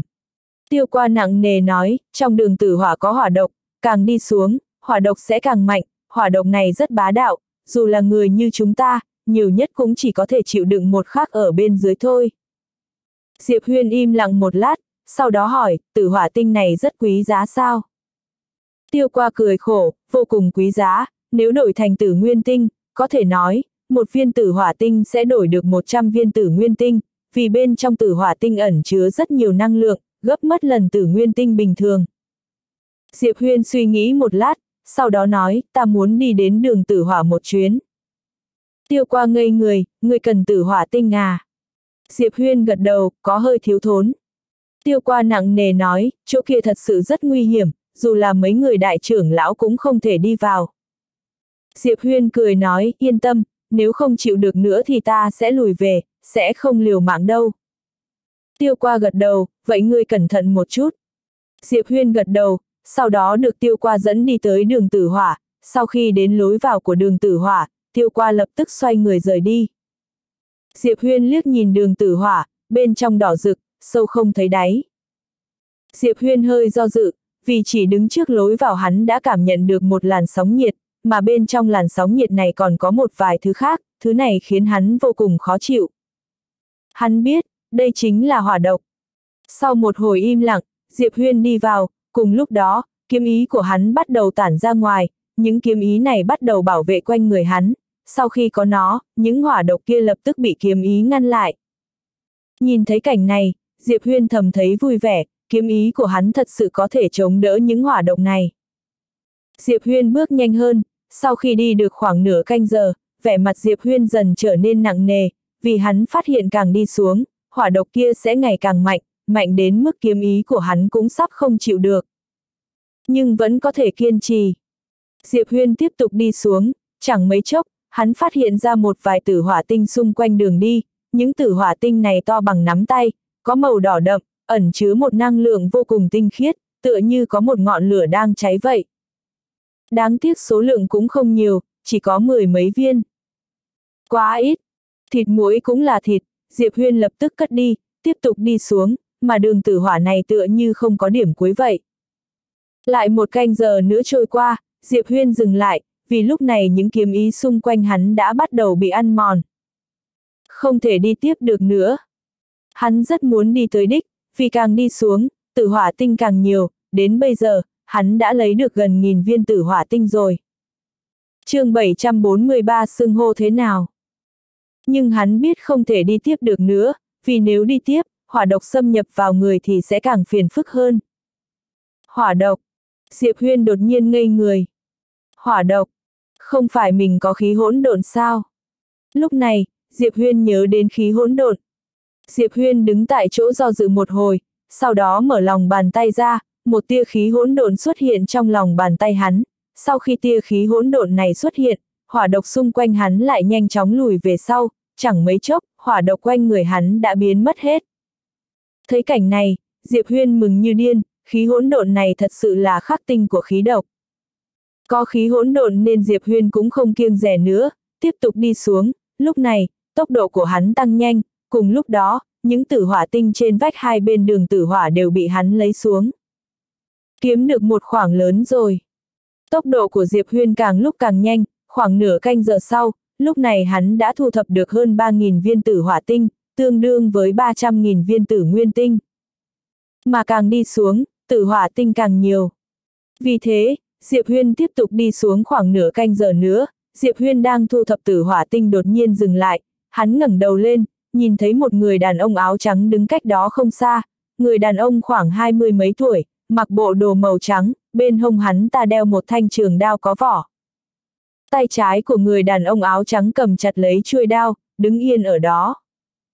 Diệp Huyên phát hiện, hắn ta đang chống đỡ những hỏa độc kia. Đao quang. Quanh người hắn ta có một quầng đao quang mỏng chống đỡ những hỏa độc xung quanh. Nhìn thấy cảnh này, vẻ mặt Diệp Huyên trở nên nặng nề. Đối phương là đang sử dụng hỏa độc để tu luyện. Quan trọng nhất là đối phương có thể dựa vào đao quang đi tới đây. Quá mạnh. Lúc này, người đàn ông áo trắng đột nhiên xoay người nhìn về phía Diệp Huyên, khi nhìn thấy Diệp Huyên, hắn ta hơi sửng sốt, trong mắt lộ vẻ ngạc nhiên, ngươi là. Diệp Huyên cười khẽ, Diệp Huyên. Người đàn ông áo trắng lắc đầu, chưa từng nghe nói. Diệp Huyên cười nói, vừa mới vào nội viện. Người đàn ông áo trắng gật đầu, hắn ta quan sát Diệp Huyên một lúc, người đi tới đây bằng cách nào. Diệp Huyên mở lòng bàn tay ra, một thanh kiếm xuất hiện trong lòng bàn tay hắn. Kiếm tu, người đàn ông hỏi. Diệp Huyên gật đầu, kiếm tu. Nói xong, hắn tiếp tục đi về phía trước, đi một cách rất thoải mái. Thấy cảnh này, người đàn ông áo trắng ngây người, sau đó, vẻ mặt hắn ta trở nên nặng nề, Diệp huynh, vì sao huynh lại di chuyển thoải mái thế? Huynh không sợ những hỏa độc này sao? Diệp huyên dừng bước, cười nói, chỉ là hỏa độc, có gì phải sợ? Các hạ vẫn cần cố gắng hơn. Người đàn ông áo trắng trầm giọng đáp, thực lực này của Diệp Huyên, khâm phục, khâm phục. Diệp Huyên cười nói, xưng hô thế nào? Hắn ta giới thiệu, Minh Khôn. Diệp Huyên nói, Minh Khôn huynh, ta đi trước một bước. Nói xong, hắn tiếp tục đi về phía trước chương 744 lòng tò mò sẽ hại chết người. Nhìn Diệp Huyên biến mất ở cách đó không xa, sắc mặt Minh Khôn cực kỳ nghiêm nghị thật mạnh quá. Nói xong, ánh mắt hắn ta dần trở nên kiên định, sau đó, hắn tiếp tục đi về phía trước, nhưng tốc độ rất chậm. Phía xa, Diệp Huyên vừa đi vừa thu thập tử hỏa tinh, càng đi sâu vào trong, hỏa độc ngày càng nhiều, hơn nữa còn ngày càng đáng sợ, khiến Diệp Huyên phải kiêng rẻ không thôi, nếu không phải có khí hỗn độn, thì những hỏa độc này đã lấy mạng hắn trong nháy mắt rồi. Đừng nói là hắn, e rằng là cao thủ nguyên cảnh cũng sẽ bị giết chết trong nháy mắt. Diệp Huyên ngẫm nghĩ một hồi, tiếp tục đi xuống, vì tử hỏa tinh rất nhiều, chất lượng còn vô cùng tốt. Dù có khí hỗn độn, nhưng Diệp Huyên vẫn không dám lơ là, vì càng đi xuống, hắn càng cảm thấy chỗ này không đơn giản, e rằng ngay cả mấy người đại trưởng lão của học viện cũng không thể đi vào nơi sâu như vậy. Khoảng nửa canh giờ sau, Diệp Huyên dừng lại, trước mặt hắn không xa có một vòng xoáy, bên trong vòng xoáy là nham thạch nóng chảy đang sôi lên ủng ục, mà Diệp Huyên còn nhìn thấy một ít tử hỏa tinh trong đỏ, những tử hỏa tinh này rất lớn, giống như một quả dưa hấu vậy. Diệp Huyên nặng nề hỏi, đại thần tầng 2, trong này có nguy hiểm không? Đại thần tầng 2 nhẹ giọng nói, người đi vào thử chẳng phải sẽ biết sao. Mặt Diệp Huyên đen lại, nói chuyện kiểu gì vậy? Đi vào thử, nếu chết thì phải làm sao đây? Sau đó, dù hắn có hỏi thế nào, đại thần tầng 2 cũng không trả lời. Cuối cùng, Diệp Huyên hết cách, chỉ có thể dựa vào bản thân, hắn đi qua, mà hắn vừa đi tới, vòng xoáy đó đột nhiên chấn động dữ dội, sau đó, một sức mạnh cường đại lập tức cuốn Diệp Huyên vào trong. Mà lúc này, giọng nói của Tiểu Linh Nhi đột nhiên vang lên trong đầu hắn, nguy hiểm. Ngươi không thể nói sớm một chút sao? Đây là câu nói cuối cùng của Diệp Huyên. Ngươi cũng đâu có hỏi ta. Không biết đã bao lâu trôi qua, Diệp Huyên cảm thấy đầu óc vô cùng nặng nề, như bị rót chỉ vậy. Như nhớ đến điều gì, hắn lập tức ngồi dậy, lúc này, hắn đang ngồi trong vùng dung nham, mà quanh người hắn có một ánh sáng xanh, ánh sáng xanh này đang chặn lại dung nham xung quanh giúp hắn. Đại thần tầng 2 ra tay rồi. Lúc này, giọng nói của đại thần tầng 2 vang lên, cẩn thận một chút, nơi này không đơn giản. Diệp Huyên hỏi, đây là đâu? Đại thần tầng 2 nói, sâu trong lòng đất của tháp tử hỏa này có một tồn tại bí ẩn, phải cực kỳ cẩn thận. Tồn tại bí ẩn. Diệp Huyên khẽ nhíu mày, đang muốn nói chuyện, nhưng vào lúc này, cách chỗ hắn không xa đột nhiên rung động một trận. Trốn đi, đại thần tầng 2 nhắc nhở. Nghe vậy, Diệp Huyên vội sử dụng khí hỗn độn che khuất mình. Một lát sau, Diệp Huyên nhìn thấy hai hỏa nhân đi tới chỗ cách đó không xa, hai hỏa nhân nhìn một vòng xung quanh, không phát hiện được thứ gì, một lát sau, hai hỏa nhân xoay người rời đi. Diệp Huyên thầm nặng nề nói, đó là cái gì? Đại thần tầng 2 nói, hỏa linh nhân, một sinh vật được sinh ra từ nham thạch nóng chảy, chỉ có thể sống trong dung nham. Diệp Huyên nhìn về phía xa, hắn suy nghĩ một lát, cuối cùng vẫn quyết định không tiếp tục tiến lên nữa. Dù hắn rất muốn đi xem, nhưng trực giác nói với hắn phía trước rất nguy hiểm, không nên đi thì tốt hơn. Lòng từ mà sẽ hại chết người. chương 745, đạo tác ở trên người nàng ta. Lúc Diệp Huyên muốn rời đi, một giọng nói đột nhiên vang lên trong đầu hắn, đi qua. Không phải giọng nói của đại thần tầng 2. Là giọng nói của người bí ẩn ở tầng 4. Vì sao? Diệp Huyên hỏi. Người bí ẩn nói, đạo tắc. Đạo tắc, chuyện mà thế. Diệp Huyên im lặng. Hắn biết những tồn tại bị giam trong tháp muốn ra ngoài chỉ có hai con đường, thứ nhất là phòng ấn vỡ tan, thứ hai là tìm thấy đạo tắc, mở phòng ấn ra. Mà trước đó người bí ẩn ở tầng 4 vẫn luôn mong hắn chết, vì như thế, tháp giới ngục sụp đổ, nàng ta sẽ có thể lập tức ra ngoài. Mà bây giờ, rõ ràng đối phương muốn đi con đường thứ hai. Diệp Huyên lắc đầu, nguy hiểm. Người bí ẩn nhẹ giọng nói, nếu người đi, ta sẽ giúp ngươi ngưng tụ đạo tắc chi kiếm của đạo tắc thứ hai. Diệp Huyên trầm giọng nói, ta có thể nhờ đại thần tầng 2. Người bí ẩn nói, dù nàng ta cũng có thể, nhưng lúc này nàng ta đang trong thời khắc mấu chốt, sẽ không làm hỏng chuyện của mình vì ngươi. Diệp Huyên im lặng. Người bí ẩn lại nói, ngoài ra, ta còn có thể tái tạo thân thể cho sư tôn của ngươi. Nghe đến đây, Diệp Huyên lập tức hơi động lòng. Tái tạo thân thể cho Việt Kỳ. Lúc này, người bí ẩn lại nói, nếu tìm thấy đạo tắc thì cũng có lợi với ngươi mà, đương nhiên, nếu ngươi thật sự không muốn thì thôi. Diệp Huyên suy nghĩ một lát, sau đó nói, ta không dám hứa chắc có thể lấy được đạo tắc thứ tư.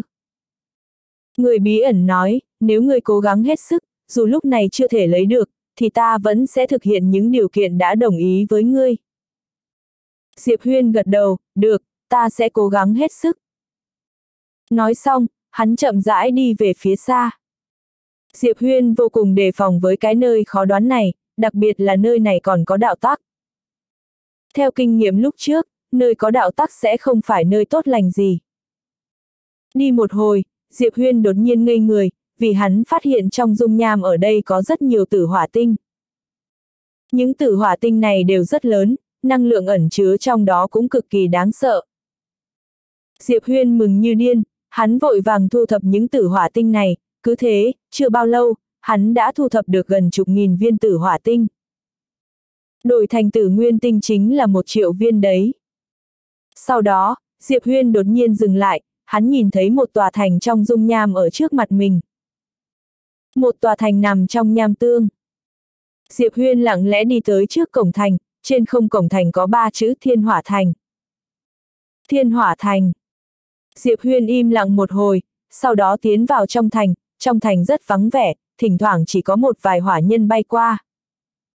Diệp Huyên cẩn thận tiến lên, chẳng mấy chốc, hắn đã đi tới trước một cung điện, trước cung điện có hai vị hỏa nhân lẳng lặng trông chừng.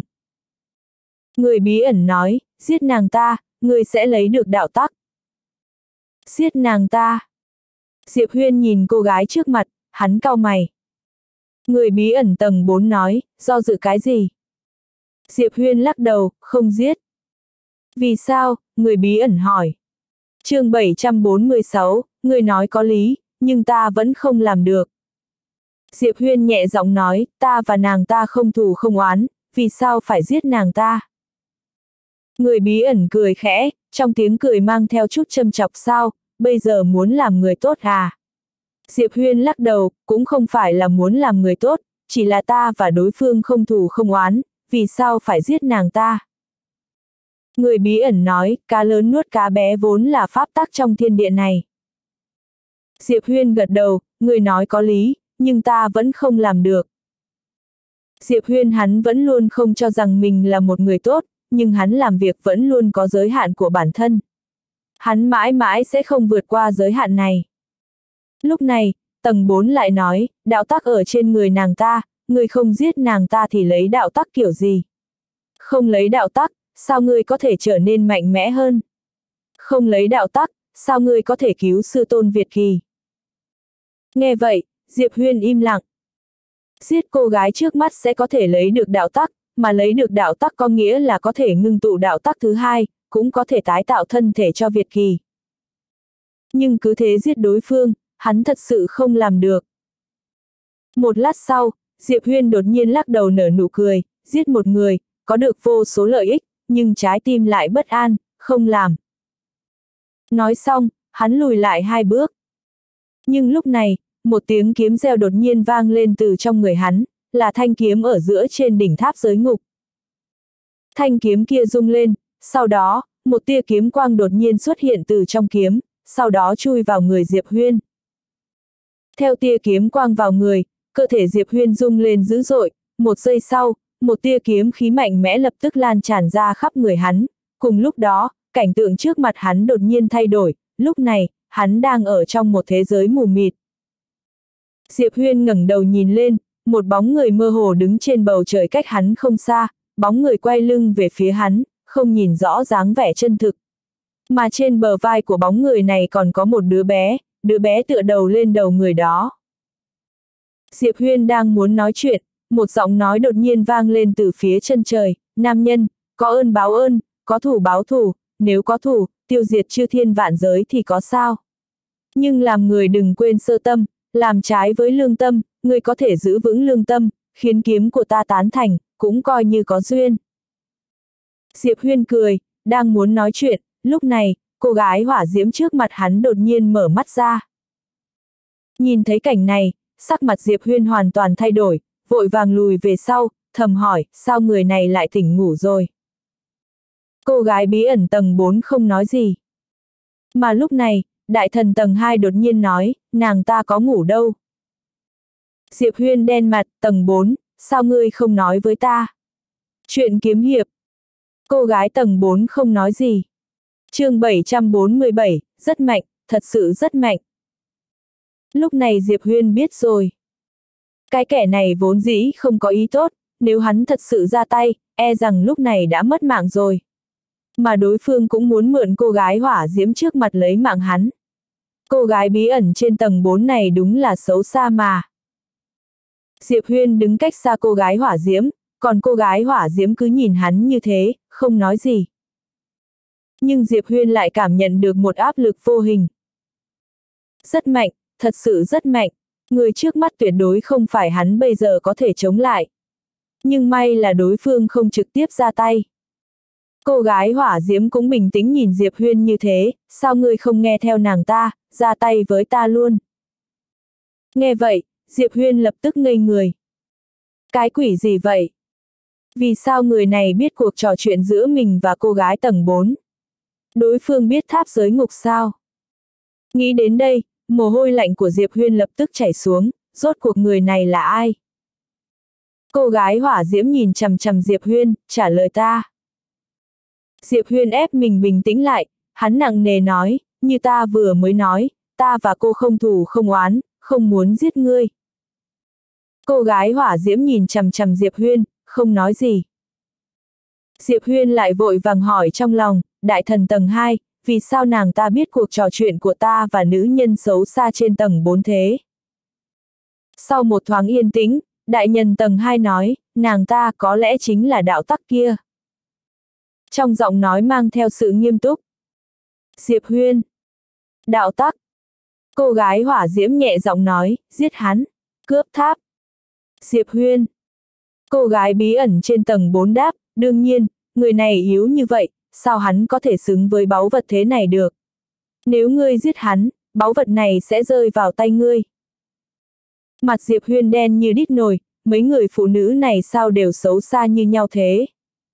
Cô gái hỏa diễm đột nhiên cười khẽ, giản tự tại, ngươi cũng biết tính toán thật, ta giết hắn rồi, phòng ấn tháp này sẽ vỡ, ngươi cũng tiện ra ngoài đúng không? Giản tự tại. Diệp Huyên khẽ gật đầu, hóa ra người phụ nữ này tên giản tự tại. Nên tên là giản ác độc mới đúng. chương 748, ba thanh kiếm trên đỉnh tháp kia ư. Giản tự tại cười nói, người giết hắn sẽ có lợi cho tất cả mọi người, không phải sao. Viêm già nhẹ giọng nói, ta giết hắn, ngươi tự do, nhưng nhân quả là do ta gánh, tính toán của ngươi không phải hay bình thường đâu. Giản tự tại cười khẩy, dù gì ngươi cũng là đạo tắc trí cao của thiên địa mà lại hành động kiêng rẻ như thế, ngươi không thể có chí hướng một chút à. Viêm già cười nói, nếu lúc trước hắn thật sự ra tay với ta theo lời ngươi, thì ta đã giết hắn rồi. Nhưng hắn cũng không ra tay. Đúng như hắn nói, ta và hắn không thù không oán, vì sao phải giết hắn? Giản tự tại không nói gì. Thật ra, từ lúc đầu khi xúi dục Diệp Huyên giết người, nàng ta đã hiểu nếu Diệp Huyên không ra tay trước, viêm giả trước mặt sẽ không ra tay với Diệp Huyên. Vì Diệp Huyên được tháp giới ngục thừa nhận, có thể coi như chủ nhân của những đạo tắc trong tháp này. Đương nhiên lúc này Diệp Huyên còn yếu, muốn những đạo tắc này thần phục là chuyện không thể nào. Có điều những đạo tắc này cũng sẽ không chủ động hại hắn. Nhưng nếu Diệp Huyên ra tay trước thì lại là một chuyện khác. Mà nàng ta không ngờ cuối cùng Diệp Huyên lại không ra tay, dù đối mặt với nhiều cám dỗ như thế cũng không ra tay. Mà bây giờ, muốn nói gì cũng không còn ý nghĩa nữa. Tầng 4 trở nên yên tĩnh, Bên ngoài tháp giới ngục, viêm già nhìn về phía Diệp Huyên, trách nhiệm của ta lúc trước là phòng ấn nàng ta, tuy nhiên năm đó tháp này bị trọng thương, đạo tắc giải rác, phòng ấn bị ảnh hưởng, ta và những đạo tắc khác trôi nổi ở khắp các tinh vực. Nói đến đây, nàng ta im lặng một lát rồi tiếp tục, tạm thời ta không thể quay lại tháp. Tạm thời không thể quay lại tháp. Diệp Huyên gật đầu, không sao, có quay lại hay không là sự tự do của các ngươi. Diệp Huyên chưa bao giờ cho rằng những đạo tắc trong tháp giới ngục này là của mình. Viêm già nhìn Diệp Huyên một cái, gật nhẹ đầu, người phải cẩn thận với giản tự tại kia, nàng ta rất không đơn giản. Diệp Huyên gật đầu, ta biết, nàng ta rất xấu xa. Nói xong, dường như hắn nhớ tới điều gì, bèn hỏi, tại sao nàng ta lại bị giam vào trong tháp thế?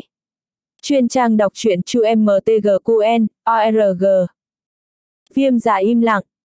Diệp Huyên nhẹ giọng nói, không nói được à. Viêm giả đáp, quá mạnh.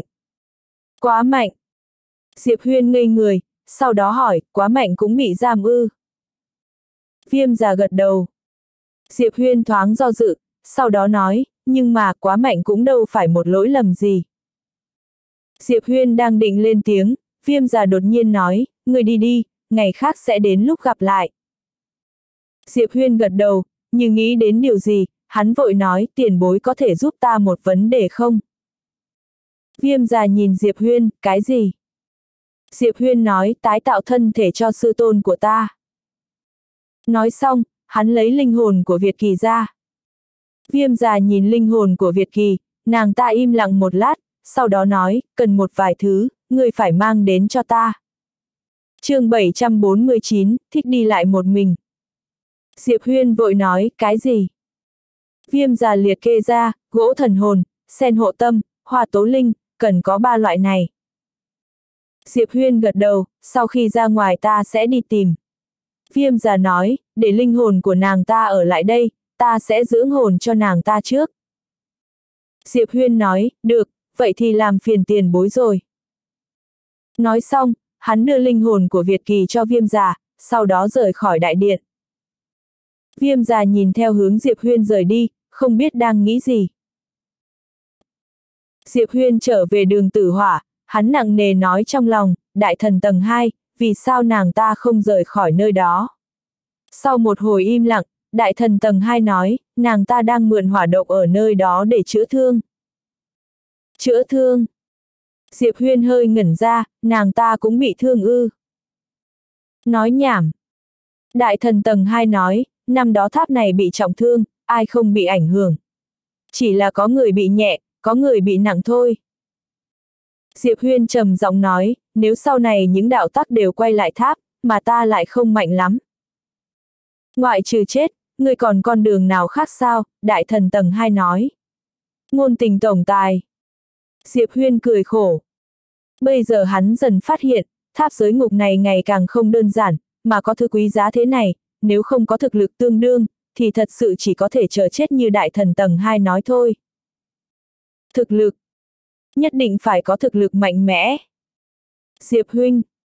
Lúc này, một giọng nói đột nhiên cắt ngang dòng suy nghĩ của hắn. Diệp Huyên ngẩng đầu nhìn lên, một người đàn ông đứng trước mặt hắn, người đàn ông này chính là Minh Khôn hắn gặp lúc trước. Minh Khôn nhìn ra phía sau Diệp Huyên, sau đó nói, Diệp Huynh đi đến cuối đường rồi sao? Diệp Huyên suy nghĩ một lát, sau đó cười nói, không có, nhưng hôm nay hơi mệt, không muốn đi nữa, hôm nào lại đi. Trong mắt Minh Khôn lộ vẻ kính nể, thực lực của Diệp Huynh thật sự khiến ta phải khâm phục. Khâm phục. Diệp Huyên cười nói, bình thường. Minh Khôn lắc đầu, Diệp Huynh khiêm tốn rồi. Diệp Huyên đổi chủ đề, Minh Khôn Huynh, Huynh muốn tiếp tục đi tới đích, hay là... Minh Khôn do dự một chút, sau đó cười khổ, ta nghĩ đây đã là giới hạn của ta rồi, cho nên ta cũng đi ra ngoài cùng Diệp Huynh thôi. Minh Khôn suy nghĩ một lát, sau đó nói, được, ta gia nhập. Nghe vậy, Diệp Huyên mừng rỡ trong lòng, thực lực của Minh Khôn này chắc chắn không yếu hơn Nam Sơn, vì đối phương có thể dựa vào thực lực đi sâu như vậy trong đường tử hỏa đã đủ để chứng minh tất cả rồi. Có Minh Khôn này gia nhập, thực lực của Tú Môn chắc chắn sẽ mạnh hơn rất nhiều.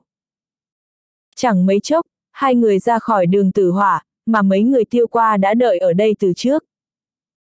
Nhìn thấy Diệp Huyên, mấy người tiêu qua đều thở phào nhẹ nhõm, mà khi thấy Minh Khôn, bọn họ đều ngẩn người. Diệp Huyên dẫn Minh Khôn đi tới trước mặt mấy người tiêu qua, cười nói, đây là Minh Khôn huynh, ta mới quen, bắt đầu từ bây giờ, huynh ấy chính là người của tú môn chúng ta. chương 754 yêu nghiệt cái gì? Nghe vậy, mọi người đều sửng sốt. Tiêu qua nhìn về phía Diệp Huyên, chắc chắn chứ? Diệp Huyên gật đầu, đương nhiên chắc chắn, sao thế? Tiêu qua do dự một lát rồi nói, Diệp Huynh, Huynh không biết hắn là ai sao? Diệp Huyên lắc đầu. Tiêu qua cười nói, hắn chính là Minh Khôn, một trong bốn yêu nghiệt của nội viện. Bốn yêu nghiệt. Diệp Huyên cười cười, thật ra hắn đã đoán được rồi. Minh Khôn đột nhiên nói, bốn yêu nghiệt cái gì, chúng ta ở trong nội viện này còn dám xưng là yêu nghiệt, nhưng nếu đi ra ngoài, chúng ta cũng chẳng là gì cả. Nói đến đây, hắn ta dừng lại một lát, sau đó nhìn thoáng qua Diệp Huyên, đương nhiên, với bản lĩnh của Diệp Huynh, đi đâu cũng có thể xem là yêu nghiệt. Diệp Huyên nói, Minh Khôn Huynh, ý của Huynh là bên ngoài có người còn yêu nghiệt hơn người của nội viện chúng ta à? Minh Khôn cười khổ, nhiều lắm, tinh vực vị ương chia làm nam vực, bắc vực, thiên vực, mà thiên tài chân chính của tinh vực vị ương nằm ở thiên vực, dù là nam vực cũng mạnh hơn chúng ta rất nhiều. Nói đến đây, hắn ta nhìn ra ngoài tháp tử hỏa, nhẹ giọng nói, nếu không thể để lại một chữ trên đạo trụ thiên vực, sao dám tự xưng là yêu nghiệt. Đạo trụ. Nghe vậy, mọi người đều nhìn về phía Minh Khôn. Minh Khôn gật đầu, ở thiên vực xa xôi kia có một cái đạo trụ, đạo trụ này không rõ lai lịch, chỉ biết nó ẩn chứa đại đạo tối cao, người có thể để lại tên mình trên đó mới thật sự là yêu nghiệt. Nói xong, hắn ta nhìn mọi người, cười khổ, cho đến nay, bắc vực chúng ta chỉ có ba người có thể để lại tên của mình trên đó, một người trong đó chính là mục viện trưởng, người sáng lập ra học viện đạo nhất chúng ta. Mục đạo nhất, vẻ mặt mọi người trở nên nghiêm túc. Mục đạo nhất thật sự là một truyền thuyết với mọi người. Minh Khôn lại nói, học viện đạo nhất của chúng ta xem như tạm được ở bắc vực này, nhưng nếu ở nam vực và thiên vực. Nói đến đây, hắn ta im lặng. Mọi người đều hiểu ý của hắn ta. Lúc này, Diệp Huyên đột nhiên cười nói, sao chúng ta phải tự ti chứ? Nếu người khác mạnh hơn chúng ta, đó là chuyện tốt, chứng minh chúng ta vẫn còn có không gian trưởng thành, có mục tiêu để theo đuổi. Nói xong, hắn vỗ vai Minh Khôn, cười nói, tin tưởng bản thân, chúng ta cũng không thua kém gì người khác. Minh Khôn suy nghĩ một lát, sau đó gật đầu, Diệp Huynh nói rất có lý, chúng ta phải bỏ đi suy nghĩ này mới được. Diệp Huyện cười ha ha, sau đó nói, mọi người cố gắng ở đây tu luyện, ta đi làm chút chuyện. Nói xong, hắn xoay người rời đi. Diệp Huyên đi rồi, Minh Khôn nhìn về phía tiêu qua, Diệp Huynh là vừa mới vào nội viện sao? Tiêu qua gật đầu, mới vừa gia nhập. Audio điện tử võ tấn bền. Hết tập 33